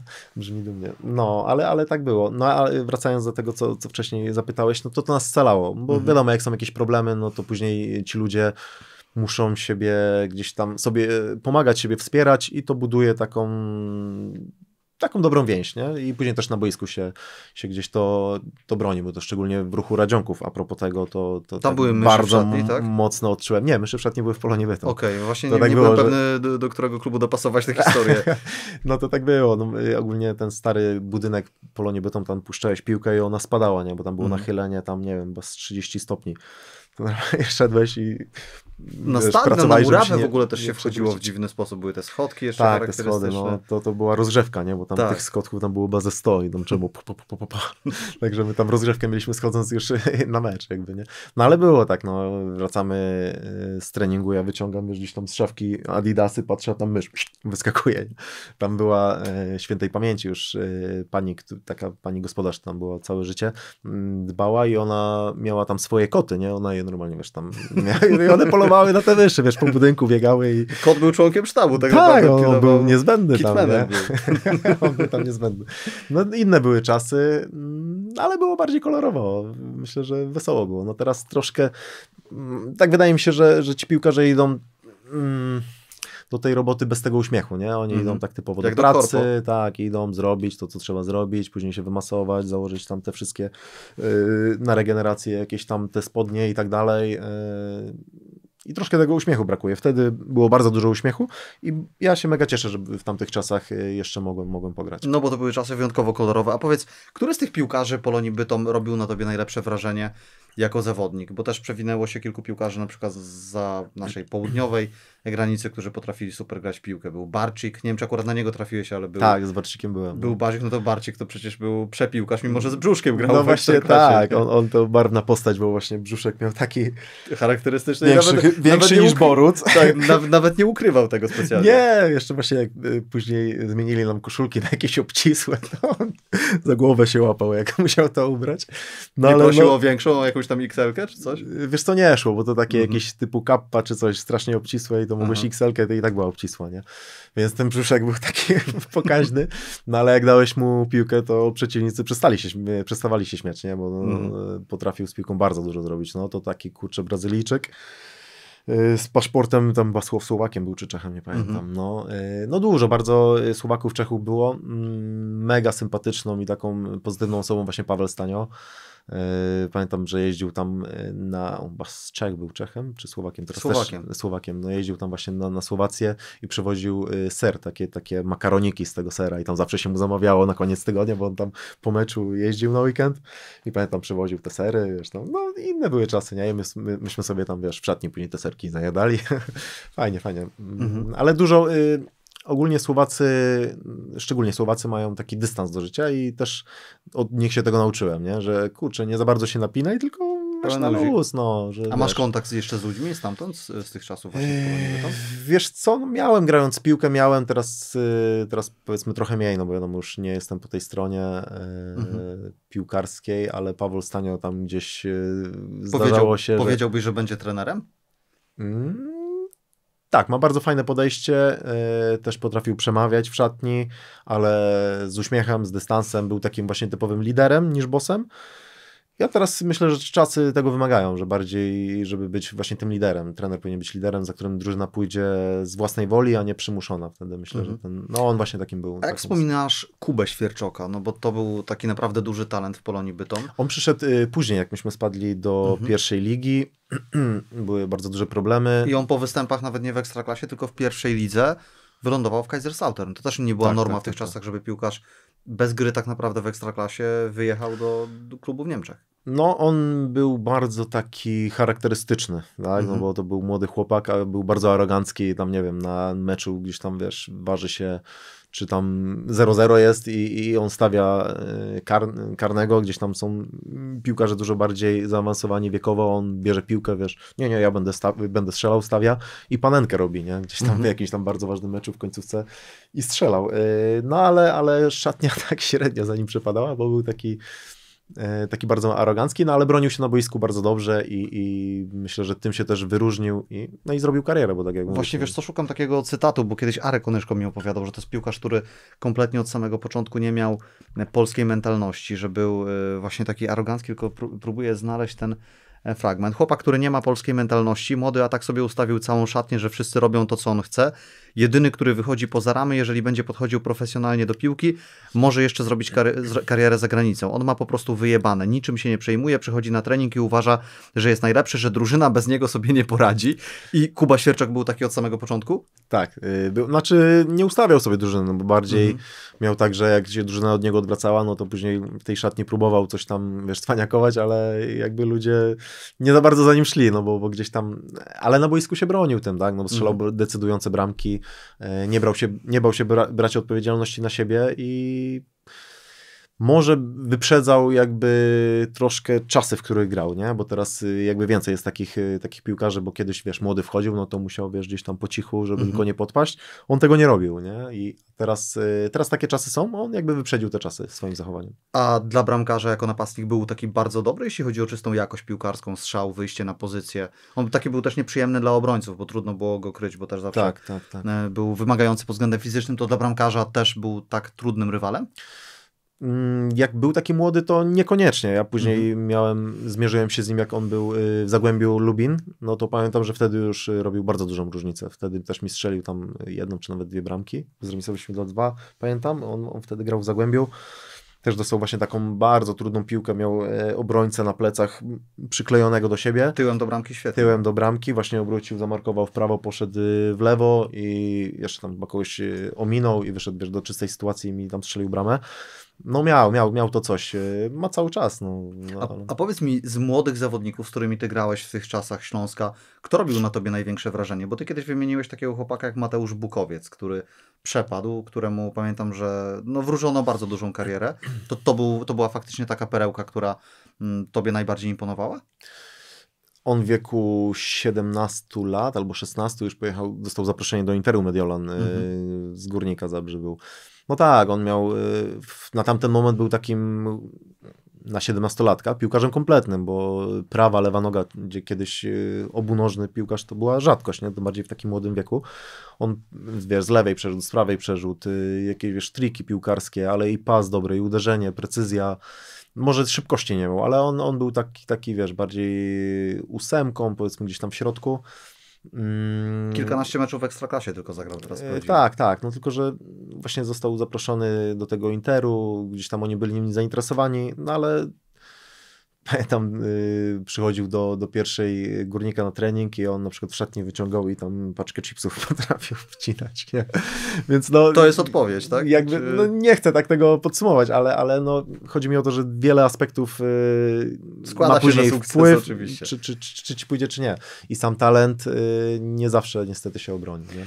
W ruchu Radzionków też grałeś z kilkoma postaciami, które później zrobiły karierę. Znaczy tam No. były też postaci, które są, zapisały się, zapisały jakąś kartę w historii polskiej piłki, bo tam był na przykład Roki. Piotr Rocki, e, też e, pewnie postać, e, czy... Świetna, barwna No postać. to opowiadaj, ale- No opowiadaj. świętej pamięci niestety, Niestety. już, no niestety. No nie, no Roki to, wiesz, on tam po treningu, jak dopiero przyszedł, jakby pierwszy raz, pierwszy trening z nim, nie, e, idę po treningu do, e, pod prysznic, patrzę, a tam kurde mgła, mówię, co tu jest tak zaparowane dopiero, ten, patrzę, a on tam, ja, jara sobie pajeczką, uf, tam już chyba drugą czy trzecią, nie, się okazało, że on zawsze po treningu wchodził i pod prysznicę sobie tam fajeczki palił, no nie, no zdrowie miał niesamowite, ale zarażał bardzo dobrą energią, wiesz, Wszyscy no był, lubili. tak, no nie dało się człowieka nie lubić, nie? A Mhm. przy tym był świetnym piłkarzem, no, też mnie nauczył, on zawsze coś takiego robił, że takimi drobnymi kroczkami y, jakby wzdłuż przebiegał i jak bramkarz zrobił delikatny krok w tą stronę, on jakby widział piłkę i bram, bardzo dobre y, takie przestrzenne y, spojrzenie miał. Widział, że bramkarz delikatny ruch robił i łamał cię w drugą stronę. To, Mhm. to był jego numer firmowy, nie? jakby na treningach. No i w meczach tak samo, nie? Bardzo dobrze umiał ocenić y, bramkarza, w jakim on jest momencie, czy on lekko się wychyli. Każdy błąd normalnie tak, y, wiesz, potrafił wykorzystać. Czy czasami, wiesz, ja z- zrobiłem dosłownie pół kroku za wysoko i on Od już mi wiedział. y, wcineczkę, czy gdzieś tam za kołnierz, nie? Mhm. No był, był świetny w tym. Nie? W obronie grali wtedy Michał Nalepa i Bartosz Kopacz, którzy też zrobili całkiem, całkiem sporą karierę Wtedy to oni byli kurczę 17-latkami. w? Ekstraklasie. I to był, i to był dzieciaki. duet stoperów, prawda? To był mój duet superów, no bardzo dobry, no teraz Mm. y, się szczyci, znaczy fajnie, fajnie było ich mieć e, ze sobą Mhm. na, na początku drogi, ale już wtedy pokazywali, że to są e, mega kumaci i z dobrym warsztatem jakby obrońcy. I wtedy wróżono też dużą karierę takiemu piłkarzowi jak Miłosz Przybecki, który wylądował w Polonii Warszawa i który bił rekordy, jeśli chodzi o, o szybkość. Yy, Jeśli chodzi o argumenty piłkarskie, trochę tego na dłuższą metę zabrakło, ale jakiego wspominasz? No bo to też była barwna postać, jakieś wyścigi samochodowe poza, poza treningami, no i ta szybkość przede wszystkim, na którą zwrócił uwagę Józef Wojciechowski.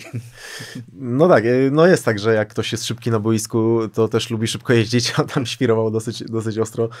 Chyba tam z braćmi Giel się tam ścigał, kupił sobie tam jakąś BMK i tam e, świrowali ostro zawsze po, po treningach. E, No to była osoba, która, e, tak jak za- zawsze byłem tym sprinterem numer jeden, no to on Mhm. był przede mną. No, on był przede mną, miał dosiężny, tam mu kiedyś mierzyli chyba większy niż, niż Ronaldo. Tak, tak. W ogóle on jak trafił do ekstraklasy, to pamiętam, że różne media pokazywały właśnie wszelakie parametry fizyczne Miłosza Przybeckiego, jeśli chodzi o szybkość, jeśli chodzi o skoki, się okazywało, że to jest jakiś w ogóle fenomen w polskiej Fenomen. skali. Zdecydowanie fenomen. Y, Fizycznie był tak obda y, obdarzony, ale mm, piłkarsko też był niezły, bo on miał bardzo mocny strzał, y, Mhm. też precyzyjny.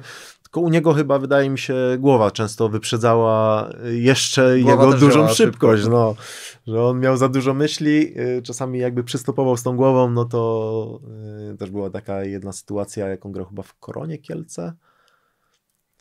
I, i nie, w ruchu grał chyba na koronie, bo Mhm. wiem, że to było na scenie chyba korony. No i bieg y, przez pół boiska do pustej bramki, gdzieś tam bramkarza minął i, i, czy bramkarz gdzieś tam wybiegł. On biegł, nie wiem, czy kojarzysz taką sytuację. I miał Wiesz pustą co, bramkę, dobiegł do, świta, do świta. pięciu metrów, no nikogo nie było, no i on w słupek teraz kopnął. Także już jego głowa pewnie myślała, jaką cieszynkę zrobić czy coś. No i, i to był Miłek, no, ale też fajna, fajna postać. Nie, tam mieliśmy w Radzionkowie, okej, no Wiśle Płock później też była rewelacyjna szatnia, ale Radzionków e, tak na równi bym powiedział, no najlepsza szatnia, jaką miałem. Wisła Płock to był taki twój prawdziwy prime. Nawet znalazłem takie artykuły, że w pewnym momencie interesował się tobą Lech Poznań, który miał rozważać, zastanawiać się, czy wziąć ciebie, czy Michała Buchalika. To jest prawda? Faktycznie był taki temat wtedy? Bo to był chyba ten czas, kiedy rzeczywiście sam siebie też wymieniałeś w gronie najlepszych bramkarzy Ekstraklasy. No tak, bardzo mocno, sumiennie pracowałem na bardzo wielu obszarach. yy, Zaangażowałem się, tak, takie miałem chyba z 3 lata, jak poszedłem do Wisły Płock, mówię, kurde, teraz dociskam na każdej płaszczyźnie. I, I naprawdę, dietę, robiłem tam testy na nietolerancję, wyeliminowałem całkowicie białe pieczywo, yy, pszenicę w ogóle, makarony, Mhm. wszystko, wiesz, przez, przez rok praktycznie nie jadłem żadnego chleba, żadnego makaronu, em, nie wiem, jajka musiałem wyeliminować, bo tam miałem jakieś nietolerancje, także bardzo mocno dietę, mm, na basen chodziłem, jakieś tam, wiesz, siłownie, y, mentalnie się starałem rozwijać, bardzo mocno tam y, pracowałem na to i to zdało, zdało, zdało, zdało, dało rezultat jakby, nie? Bo zrobiliśmy awans do ekstraklasy, no i czułem się naprawdę w życiowej formie, bo, bo to jakby ciało oddawało to, nie? Mhm. No i, no i tak, no. y, Trafiłeś do najlepszej jedenastki Wisły Płock w XXI wieku. No tak, to jest bardzo duże 2020 wyróżnienie. Y. Też kibice mnie darzą dużą sympatią, no ale byłem tam 7 lat, y, wiesz, no, troszkę mnie utożsamiają z, tym, od, z, tym odbu- z tą odbudową y, Wisły Płock, bo ja tam poszedłem, to była druga liga. Y, Po roku zrobiliśmy awans do pierwszej i tam była po trzech do ekstraklasy, no i w tej ekstraklasie chyba jeszcze tam 2 czy 3 lata pograłem. Nie? Więc... To czego ci zabrakło, żeby tak pójść za ciosem i żeby wtedy wypracować sobie na przykład taki status bramkarza ekstraklasy, który pozwoliłby ci być może nawet do dzisiaj funkcjonować w tej ekstraklasie? No Było trochę meczów z jakimiś indywidualnymi błędami. E, Relacje, relacje spore. międzyludzkie, wiesz. y, Mhm. Ja jestem taki, że nie lubię jak, jak się ze mną gra w jakieś gry, jak się mnie tam gdzieś okłamuje. Mhm. Mm, No to kto cię Brakło okłamywał? mi, no był taki ten dyrektor Masłowski, który gdzieś tam swoje zaczął rządy wprowadzać, gdzieś tam miał swoich e, piłkarzy, których później gdzieś tam na siłę e, wciskał, ściągał, też ściągnął tego Niemca. Tomasa. E, Tomasa Denę e, do bramki, więc też było przesądz- przesądzone, że on będzie bronił jakby. Ja miałem taki trudny okres e, dwóch dziadków ostatnich e, rodziców jakby mojej mamy i taty po tygodniu, tydzień po tygodniu jakby odeszli. Więc bardzo mocno to mnie dotknęło. No i miałem takie dwa większe błędy w tym, w tym sezonie. Nie? To były mecze, które przegraliśmy. Ale później się już tam ogarnąłem i listopad, grudzień, to w ogóle ostatnich moich, e, to jakiś czas temu sprawdzałem, pięć meczów, które ostatnie zagrałem e, w Wiśle Płock w Ekstraklasie, są cztery mecze na zero. Mhm. Tylko- był fatalny. Na Denę... Znaczy grał dobrze nogami, ale przecież na ten temat to się toczyły jakieś wielkie dyskusje w polskiej piłce. Znaczy już na nawet ile- nie oceniam ekst- jakby występów y, w meczach No, ale Ekstraklasy, grał- ale on przyszedł i, i, i w sparingach, wiesz, y, nie wiem, pierwszy sparing y, dostał loba gdzieś tam z ponad połowy boiska, nie? Y, Mhm. Zaraz tam jakieś, jakąś dziurę. W treningach też tam się jakby z niego śmiali, no ale było wiadomo, że on będzie grał, bo, bo gdzieś tam, to były właśnie takie ruchy pozasportowe, gdzie ja byłem tego świadomy i dużo się działo jakby takich rzeczy w Wiśle Płock, za którymi nie chciałem, yy, okej, musiałbym złamać swoją wartość i powiedzieć, dobra, idę, robię to, będę się trzymał z tymi ludźmi, bo wiem, że oni teraz będą gdzieś tam mieli decydujące, ale nie, nie, nie czułem tego i jakby byłem... Wyznaję w życiu taką zasadę, że są rzeczy, które warto, a które się opłaca. Mhm. To by mi się opłacało, ale dla mnie to nie było warte, więc ja szedłem za tym, co, co było dla mnie warte. No i, no i przez to pewnie nie zrobiłem takiej kariery, którą mogłem zrobić. Mhm. Ale spotkałeś też bardzo ciekawe postaci w tamtej Wiśle Płock. Rozegrałeś na przykład całkiem sporo meczów u, u trenera Kaczmarka. Y, Grałeś także u, u trenera Jerzego Brzęczka 22 spotkania i chciałbym Ciebie zapytać, tak jak pytałem ostatnio Ariela Borysiuka o, o trenera Brzęczka. Czy Ty jako piłkarz, który poznał go bardzo dobrze, uważasz, że on jest, to samo pytanie zadałem Arielowi, jest niesprawiedliwie oceniany, czy nie? Dlatego, że Jerzy Brzęczek mm, w mediach sprawia kompletnie inne wrażenie niż w takiej rozmowie face to face, czy to z dziennikarzem właśnie, czy to z piłkarzem. I mnóstwo osób, które miało z nim styczność na treningu i tak dalej, podkreśla, że to jest facet bardzo dobrze przygotowany merytorycznie do tego zawodu i tak dalej, ale no jest obrażalski i tak dalej, kiepsko reaguje na krytykę, więc jaki to jest trener twoim zdaniem? Na mnie też się obraził, nie chciał wywiadu udzielić właśnie. Życie. Życie, życie. Życie tak bywa. Y, Wiesz co, no, y, to jest człowiek, który zrobił bardzo dużą karierę, y, więc przez to pewnie jego wartość siebie no, ma Mhm. jakąś tam ocenę swojej, swojej osoby.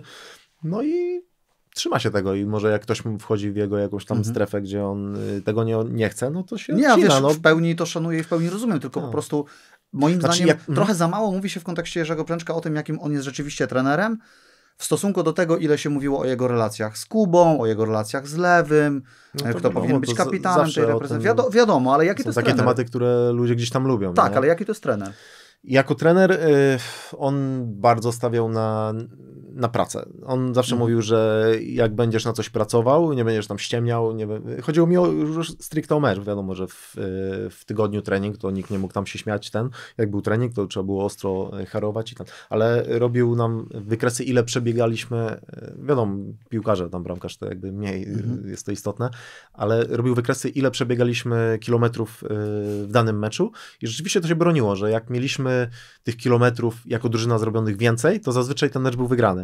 I później pokazywał, no tutaj przegraliśmy tam, nie wiem, 2-0 i pokazywał, a tam na przykład 5 kilometrów, czy tam A to 10 jest takie kilometrów. nie, niemieckie podejście, bo Niemieckie podejście, też, e, tak. On, tym pracują. on też dużo niemieckich y, po niemiecku zagadywał, jakby miał już tak język, wiesz, z niemieckiego, że wrzucał takie, takie słowa niemieckie.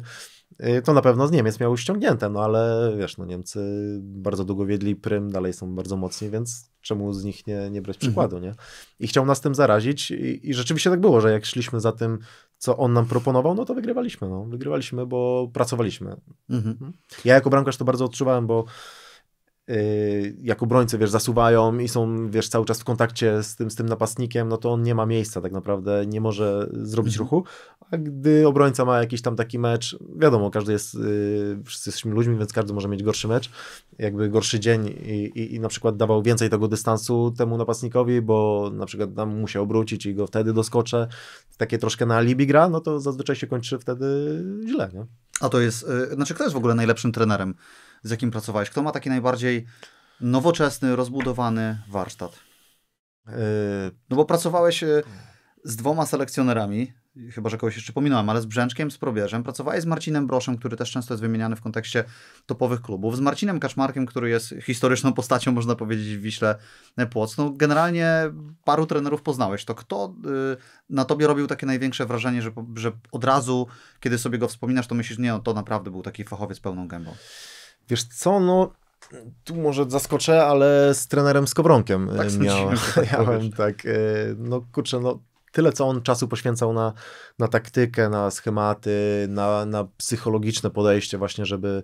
56 meczów u niego rozegrałeś, mhm. u Artura Skowronka, w tym momencie bez klubu. No, yy, tak, no później trafił do Zagłębia, właśnie troszkę mnie to zaskoczyło, że, że tam niestety nie szło najlepiej. E, bo, bo, bo liczyłem, że tam pójdzie i no, czasami jest tak, że, że klimat gdzieś tam nie sprzyja, coś tam się, się nie udaje, ale on bardzo mocno e, stawiał właśnie na psychologiczne podejście, nie? czyli chciał zarażać taką wiesz, że musisz o sobie dobrze mówić, nie możesz krytykować, mhm. jak ktoś tam coś dobrego zrobi na treningu, to dawaj dobrą energię, że super, wiesz, żeby siebie też nie hojtować, jak ci nie idzie.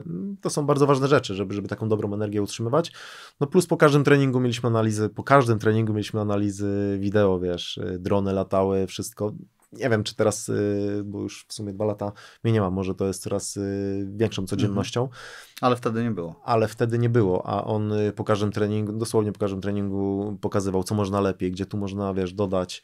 No i naprawdę widziałem, że jak drużyna, no on też miał we mnie takiego taką osobę, która go wspierała i była, a ja miałem tam dosyć duży autorytet w szatni, więc mhm. byłem takim przekaźnikiem, łącznikiem, nie? A ja, jakby ta ideologia jego mi się bardzo podobała i, i, i wiem, że on też mnie darzył dużym szacunkiem, dobrze to, dobrze to współgrało. Zasługuje na powrót na rynek, twoim zdaniem? Moim zdaniem zasługuje. Mhm. No, w Płocku też grałeś z bardzo wieloma ciekawymi postaciami, nie tylko z Tomasem Dene, który był postacią niezwykle interesującą, ale tam było wielu naprawdę znakomitych zawodników, jak na, jak na polskie realia, no bo był Jacek Góralski, który zrobił kawał kariery, Oczywiście. Dominik Furman, który też karierę zrobił, Arek Reca, który wyjechał na zachód i cały czas na tym zachodzie funkcjonuje, ale też na przykład Semir Sztilic. Chciałbym ciebie zapytać, kto, kto na tobie robił właśnie największe wrażenie wtedy pod takim względem piłkarskim, że widziałeś gościa i myślałeś sobie, no on może grać spokojnie na zachodzie.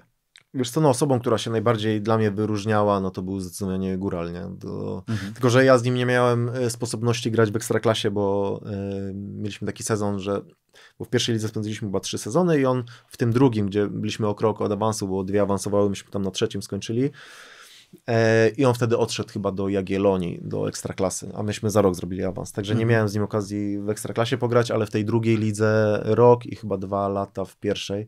No to był gościu, y, zawsze był tak samo aktywny, zawsze był tak samo dostępny jakby swoim warsztatem na każdym meczu. Nie, nie było tak, że on miał gorsze mecze. On mhm. zawsze, no to charakter, y, wiesz, bo on tam też miał y, gdzieś tam trudne, powiedzmy, dzieciństwo, którego zahartowało mocno. No i miał taki, taki charakter bandziora takiego, nie? Mhm. E, facet nie za wysoki, gdzieś tam ponad głowę niższy ode mnie, ale bardzo nieprzyjemny, bardzo taki, no jak się uwziął, na jak ktoś mu tam gdzieś podpadł, y, wiesz, gdzieś tam go sfaulował, to potrafił, wiesz, 90 minut za nim gonić, gonić, gonić i w końcu mu oddał, wiesz, że gościu nie umiał wstawać. Zresztą, no później w Ekstraklasie, jak, jak znaczy w Ekstraklasie, w reprezentacji Polskiej jak zagrał, to też... Z Włochami. Za to go polubili kibice, że, że no, charakterny gościu, nie? Mhm. Y, mając go w środku pola, ja wiedziałem, że tam środek wygrywasz, a jak wygrywasz środek, zazwyczaj wygrywasz mecz. I, no i tak to u nas się odbywało zazwyczaj, że on ten środek dominował.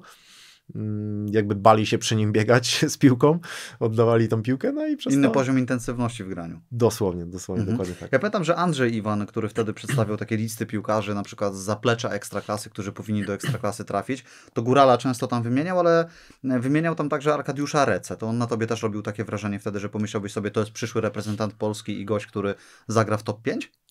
Wiesz co, Reca był właśnie y, taki jak Miłek Przybecki, Mhm. czyli miał te wszystkie parametry, mega sprint, y, skoczność, y, bardzo, bardzo mocny był pod tym kątem, ale pracował też bardzo dużo nad techniką, bo wiedział, że tam technicznie gdzieś troszkę odstawał, y, no i zrobił duży progres. Później też y, wyjechał już do Włoch i tam zrobił progres taktyczny, bo też później jak miałem sposobność z nim rozmawiać, to mówię, że to jest niebo a ziemia, to co go tam jakby nauczyli. Mhm. Ale no właśnie mówię, on był świadomy tego, gdzie ma y, jakby pole do, do, do, pracy nad sobą, czyli właśnie głównie ta technika, gdzie tam z nią był troszkę na bakier na początku, ale nadrabiał to. On był też, y, a on podobnie jak Góral, że zasuwał na boisku, też się nie zatrzymywał, charakterny. No to rzeczywiście tak, tak, tak, tak jak mówisz, no, można było mu wróżyć tą, tą karierę dużą. No ty funkcjonowałeś w bardzo wielu specyficznych środowiskach e, w polskim futbolu i takim specyficznym środowiskiem był też Lublin, z którym e, byłeś związany i z którym też pewnie jesteś związany przez kolegów, no bo sam mówiłeś, że masz tam wielu znajomych. E, Na czym polegało to przekleństwo motoru Lublin tak naprawdę w ostatnich latach, że do przyjścia Gonzalo Fejo to można było odnieść wrażenie, że no ciężko będzie tam po prostu odnieść sukces, że ktokolwiek tam trafi, to spotka się z jakimiś problemami albo wyzwaniami takimi nie do sforsowania i że dopiero teraz Fejo sobie z tym radzi. Jak ty to tłumaczysz? Wiesz co, tam było dużo y, takich rzeczy nieuporządkowanych, niepoukładanych. Na przykład mm, stadion był wynajmowany przez Motor Lublin. Y, my tam się czuliśmy, jakbyśmy gdzieś jeździli w ogóle na obczyznę, nie? Mhm. Wchodząc- Mówisz o tej arenie. Tak, wchodząc na stadion, mm, nie mogliśmy, wiesz, do szatni czasami nie mogliśmy wchodzić, bo ktoś tam akurat dzień wcześniej, nie wiem, jakiś futbol amerykański miał wynajęte i oni sobie naszą szatnię zabierali i myśmy musieli pukać, czy możemy, czy, czy już dzisiaj możemy, czy dopiero jutro wys- wysyłali nas do jakiejś, jakichś kanciap takich, żebyśmy się tam przebierali, wiesz, jakichś takich e, szkolnych e, szatni jakby. E, Trener Fejo przyszedł i zrobił. Ja już nie, nie miałem przyjemności z nim współpracować, bo tak jak rozmawiam z chłopakami, to jest dla nich przyjemność, ale mocno to uporządkował. Jakby priorytety poustalał, że to są ważne rzeczy, no i jakby zarządził tym, tak? No ale tam Mhm. trzeba było kogoś, kto się mocno postawi, ale też będzie miał ze sobą szatnie i wyniki. A on to wszystko miał, dlatego miał, mógł to zrobić, co, co zrobił. No Wiadomo, jakby był trener, który nie ma wyniku, który, który nie obroni się na boisku, no to też nie może szarżować, no bo zaraz mu powiedzą, stary, no to my cię tu nie chcemy, zawijaj się, nie? A jak śledziłeś na przykład z zewnątrz te wszystkie afery wokół Gonzalo Fejo, wiedząc na przykład, jakie on ma relacje z zawodnikami, jak wygląda cały ten klimat w motorze, to ty tak podświadomie ustawiałeś się po jego stronie, czy pomyślałeś sobie, nie, no to jest jakiś mobbing, to jest totalna przeginka, co on robi, więc trudno stanąć po jego stronie. Zdecydowanie po jego stronie, bo Po jego stronie. y, tak, no jako piłkarz, bo Mhm. ja rozmawiałem z chłopakami, no to mm, tam on tak funkcjonuje, że nie wiem, zawodnik jest kontuzjowany i on tam na przykład ma grupę na Whatsappie i pisze, że super panowie po meczu, nie, wygranym, super dobra robota, ale najwięcej y, chciałbym podziękować tutaj i wymienia tam kontuzjowanych, trzymam za was kciuki, wróćcie, wy Mhm. napędzacie tutaj, my czekamy na was,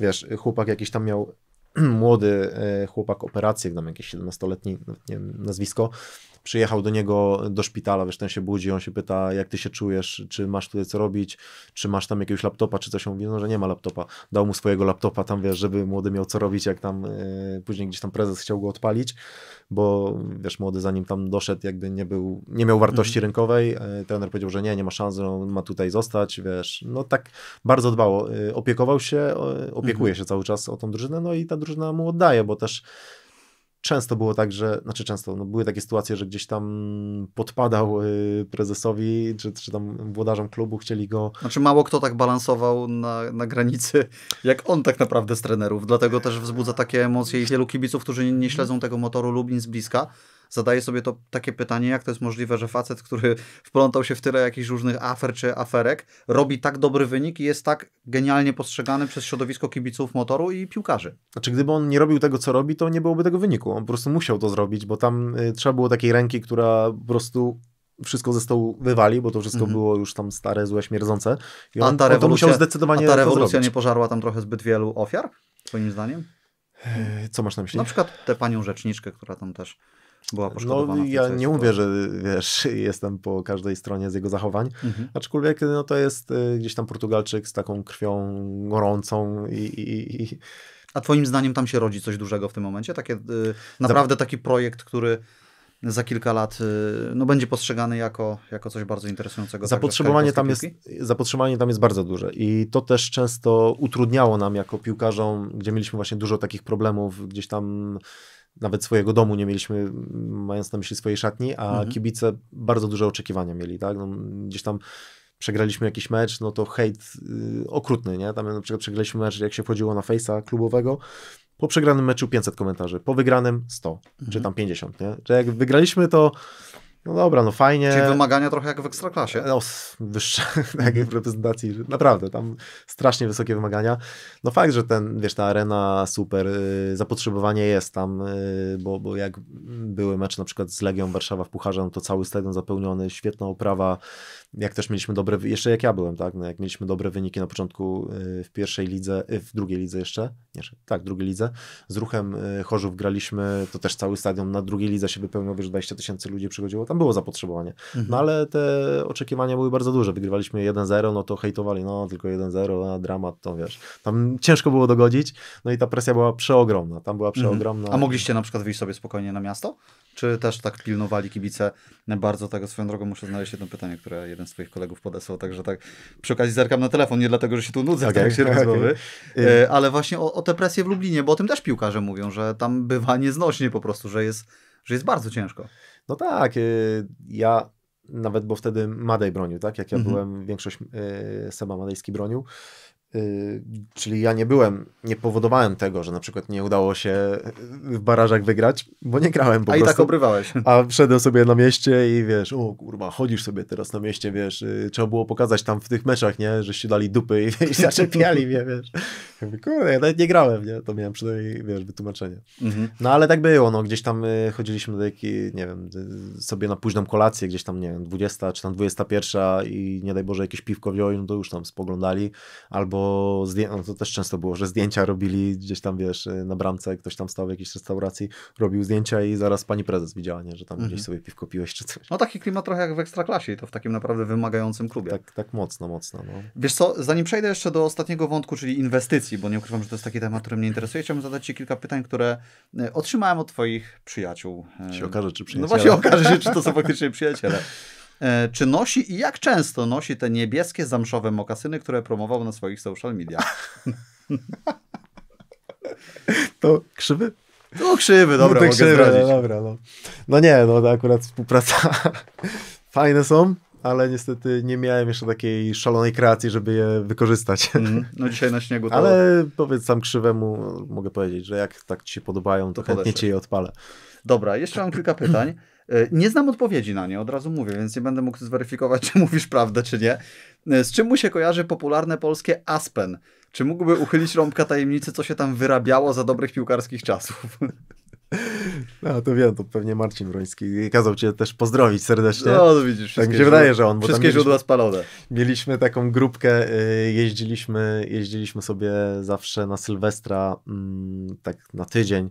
Kumpel miał domek od, od dziadków, no i tam dużo się działo, rzeczy, które o których nie za bardzo mogę opowiadać publicznie, ale, ale, ale dużo się działo. No było takie nasze miejsce, gdzie y, każdy z nas tam właśnie grał, niektórzy w wyższych ligach, niektórzy w niższych, ale mieliśmy taką grupkę przyjaciół, pięciu, sześciu osób i zawsze tam się łapaliśmy i Może tam lejce reality, reality show Oj tak, na pewno niezłe by tam powstały reality show. E, Jakie masz wspomnienia z pracy z poszczególnymi trenerami bramkarzy? Tutaj o Drescherze już wspomniałeś. E, Przez kogo byłeś nazywany małym Boa, cokolwiek, cokolwiek to znaczy? I z kim spisane złe relacje spaliłeś na kartce na gliwickim rynku? Więc o co chodzi w tych dwóch historiach? Mały Boa to był y, trener Żmija, którego też serdecznie pozdrawiam. Y, Mhm. Świetny człowiek, świetny trener. Bramkarzy, y, Grzesiu. No jakby bardzo dobrze mi się z nim współpracowało i, i, i też byłem w dobrej zawsze dyspozycji mm, psychicznej i fizycznej, Mhm. jak, jak z nim y, współpracowałem. O te relacje to właśnie jak byłem w tej Polonii Bytom y, z trenerem Drescherem i tam miałem różne takie trudne momenty, no i wtedy gdzieś tam przeczytałem w jakiejś książce, że jak masz y, rzeczy, które gdzieś, gdzieś, tam siedzą w głowie, no to zapisz je na kartce i je spal, nie? No to poszliśmy mm. gdzieś tam po, po, po sezonie y, na jakąś tam imprezę, ja tą kartkę miałem, wiesz, tu sobie gdzieś tam jakąś, jakieś, jakieś piwko piliśmy, a tutaj ja spalałem tą kartkę, nie? z, tymi, z tymi relacjami. Z tymi. No to od początku takie widzę klimaty mindfulnessowe ci tak, tak, tak, no. E, czym jest dla ciebie grupa śląskich szatanów? No to właśnie ta grupka, powiedzmy, z którą do Aspen jeździliśmy. No, mm. Robiliśmy różne szatańskie rzeczy, więc. No to zdradź coś przynajmniej. Ja wiem, że pewnie tych najbardziej hardkorowych znaczy, nie zdradzisz. Nie, ale... no y, wiesz co, y, dużo. Ja tak byłem, że jak był tydzień, to harowałem ostro, ale mm. jak był weekend i tam szczególnie po wygranych meczach, no to sobie ostro. harowałem w drugą stronę ostro, nie? Żeby, znaczy, system nagradzania jest bardzo ważny w życiu, czyli jak y, na coś ostro pracujesz, a nie dasz sobie takiego luzu, no to ta psycha w końcu ci mhm. siądzie, nie? No bo, bo, bo, bo, nie luzujesz tego. No więc y, weekendy sobie luzowałem i śląskie szatany zawsze mi pomagały w tym. A kto był w tej grupie? Możesz zdradzić, czy członkowstwo, zdradzić, członkostwo jest to... anonimowe? Y, to chłopacy, wiesz, którzy gdzieś tam, no Łukasz Janczarek na przykład grał gdzieś tam mhm. w Piaście, chyba w pierwszej lidze jeszcze nawet, a tak to gdzieś tam raczej druga liga, trzecia liga, to tak okay. możesz, nie, możesz nie kojarzyć. I ostatnie pytanie. No ale jeszcze nawiązując no, do tego, bo, bo, bo, po Radzionkowie, po ruchu Radzionków, e, gdzie tam były problemy finansowe, uznałem, że odchodzę, mm, no i Piast Gliwica się e, mhm. do mnie odezwał tak w sumie trochę niechlubna historia, ale mm, no i chcieli mnie, e, bo ja też na Piaście zagrałem bardzo dobry mecz, tam wygraliśmy 1-0, po tym sezonie nie chcieli, ale ktoś tam zaczął, albo tam kilka osób zaczęło, że no Seweryna to najczęściej to można spotkać e, w klubie, ale nie w Piaście, tylko w Gwarku. To był taki mhm. dyskoteka e, na rynku, no i tam można po autograf się do niego, nie? że tam wiesz, pisali, że często jestem, to właśnie przez, to ja nie chciałem, tylko śląskie szatany mnie tam zawsze ciągnęły. Okej, okay, czyli zawalili ci transfer Zawalili do Piasta. Mi transfer. E, I ostatnie pytanie od tego kolegi związane z programem Farma, czy zawsze byłeś mocny we wbijaniu gwoździ, czy nauczyłeś się tego dopiero na Farbie?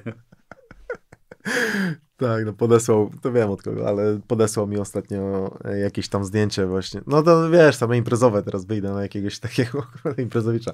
No ale tak jak mówię, no jak, jak, jak były wyniki i, i, i było ok, mm. no to też sobie pozwalałem w drugą stronę. Znaczy szybko no, stawiałeś na regenerację po prostu na imprezie, tak? Tak, szybko się regenerowałem. No było takie zdjęcie, że właśnie przybiłem gwoździa, to mi kumpel to mm. wysłał i napisał, że nie tylko w farmie dobrze bijałem gwoździe, ale poza farmą też. Dobra, wiesz co, na koniec ten wątek inwestycji, bo nie ukrywam, że to mnie zainteresowało o tyle, że wspominałeś o tym, że masz mini hotel, że masz nieruchomości. Jest to o tyle, powiedzmy, specyficzne, że ty nie funkcjonowałeś raczej w takich klubach, które płaciły piłkarzom krocie. No nie byłeś w Polonii Warszawa Józefa Wojciechowskiego, żeby nagle zbudować sobie jakiś majątek, tylko wręcz wielokrotnie musiałeś mhm. gdzieś upominać się o pieniądze, grając na Śląsku, więc wydaje mi się, że akurat w tym aspekcie jesteś chyba dobrym przykładem dla innych zawodników, że skończyłeś karierę albo jeszcze ją wznowisz, zobaczymy, ale że jesteś dobrze poukładany, ty jesteś w tym momencie tak zabezpieczony już, że do końca życia możesz mieć taki spokój czystą głowę? Znaczy, mam ten biznes. Okej, okay, te początki mhm. były trudne, gdzieś tam tych pieniążków y, nie było za dużo, ale jak byłem w Wiśle Płock przez te 7 lat, no to muszę powiedzieć, że tam nigdy nie było żadnych poślizgów i tam naprawdę no, zarobiłem tak, żeby sobie coś tam poinwestować. E, trafiłem później do Stali Mielec i właśnie w Rzeszowie mieszkałem tam, otworzyłem taki mini hotel, taki powiedzmy hostel, 8 pokoi na wynajem, najem krótkoterminowy, no i z tego głównie się jakby utrzymuję, bo mm, ale, ale cały czas się, gdzieś tam rozwijam. No, y, było tak, że jak gdzieś zacząłem więcej zarabiać, to się zastanawiałem, no kurczę, szkoda, żeby te pieniądze leżały, więc co mogę mhm. zrobić, żeby mnie to za bardzo nie zaangażowało, żebym się mógł cały czas mocno koncentrować na piłce, ale z boku też mieć jakąś taką poduszkę finansową. No i trafiłem tak na nieruchomości, zacząłem jakieś tam właśnie webinary słuchać, oglądać, e, szkolić się, bo też na różnych szkoleniach, zarządzanie najmem właśnie krótkoterminowym, mhm. długoterminowym, e, flipy, flipowanie, e, zrobiłem chyba trzy czy cztery flipy grając w piłkę. Też nie jakoś tam intensywnie, ale gdzieś tam flipy, mhm. pewnie wiesz co to jest, mm może nie każdy wie, że kupujesz mieszkanie gdzieś tam po starszych osobach, zazwyczaj jakieś tam I zaniedbane. Tak, robisz jakieś tam remonciki i sprzedajesz z zyskiem. Kiedyś to było bardzo dochodowe i przyjemne, teraz jest dużo w tych fliperów i ciężko po prostu znaleźć takie perełki, ale zrobiłem coś takiego. A robisz to cały czas? Nie, teraz nie flipuję. Yy, teraz myślę o kolejnej inwestycji związaną z najmem krótkoterminowym. No, w sumie mogę powiedzieć, chcę takie domki na drzewie zrobić. Mhm. Szukam teraz właśnie działki i gdzieś może pod Warszawą coś takiego powstanie. Okej, okay, czyli masz takie plany na dłuższą metę, żeby bawić się w deweloperkę w takiej mikroskali?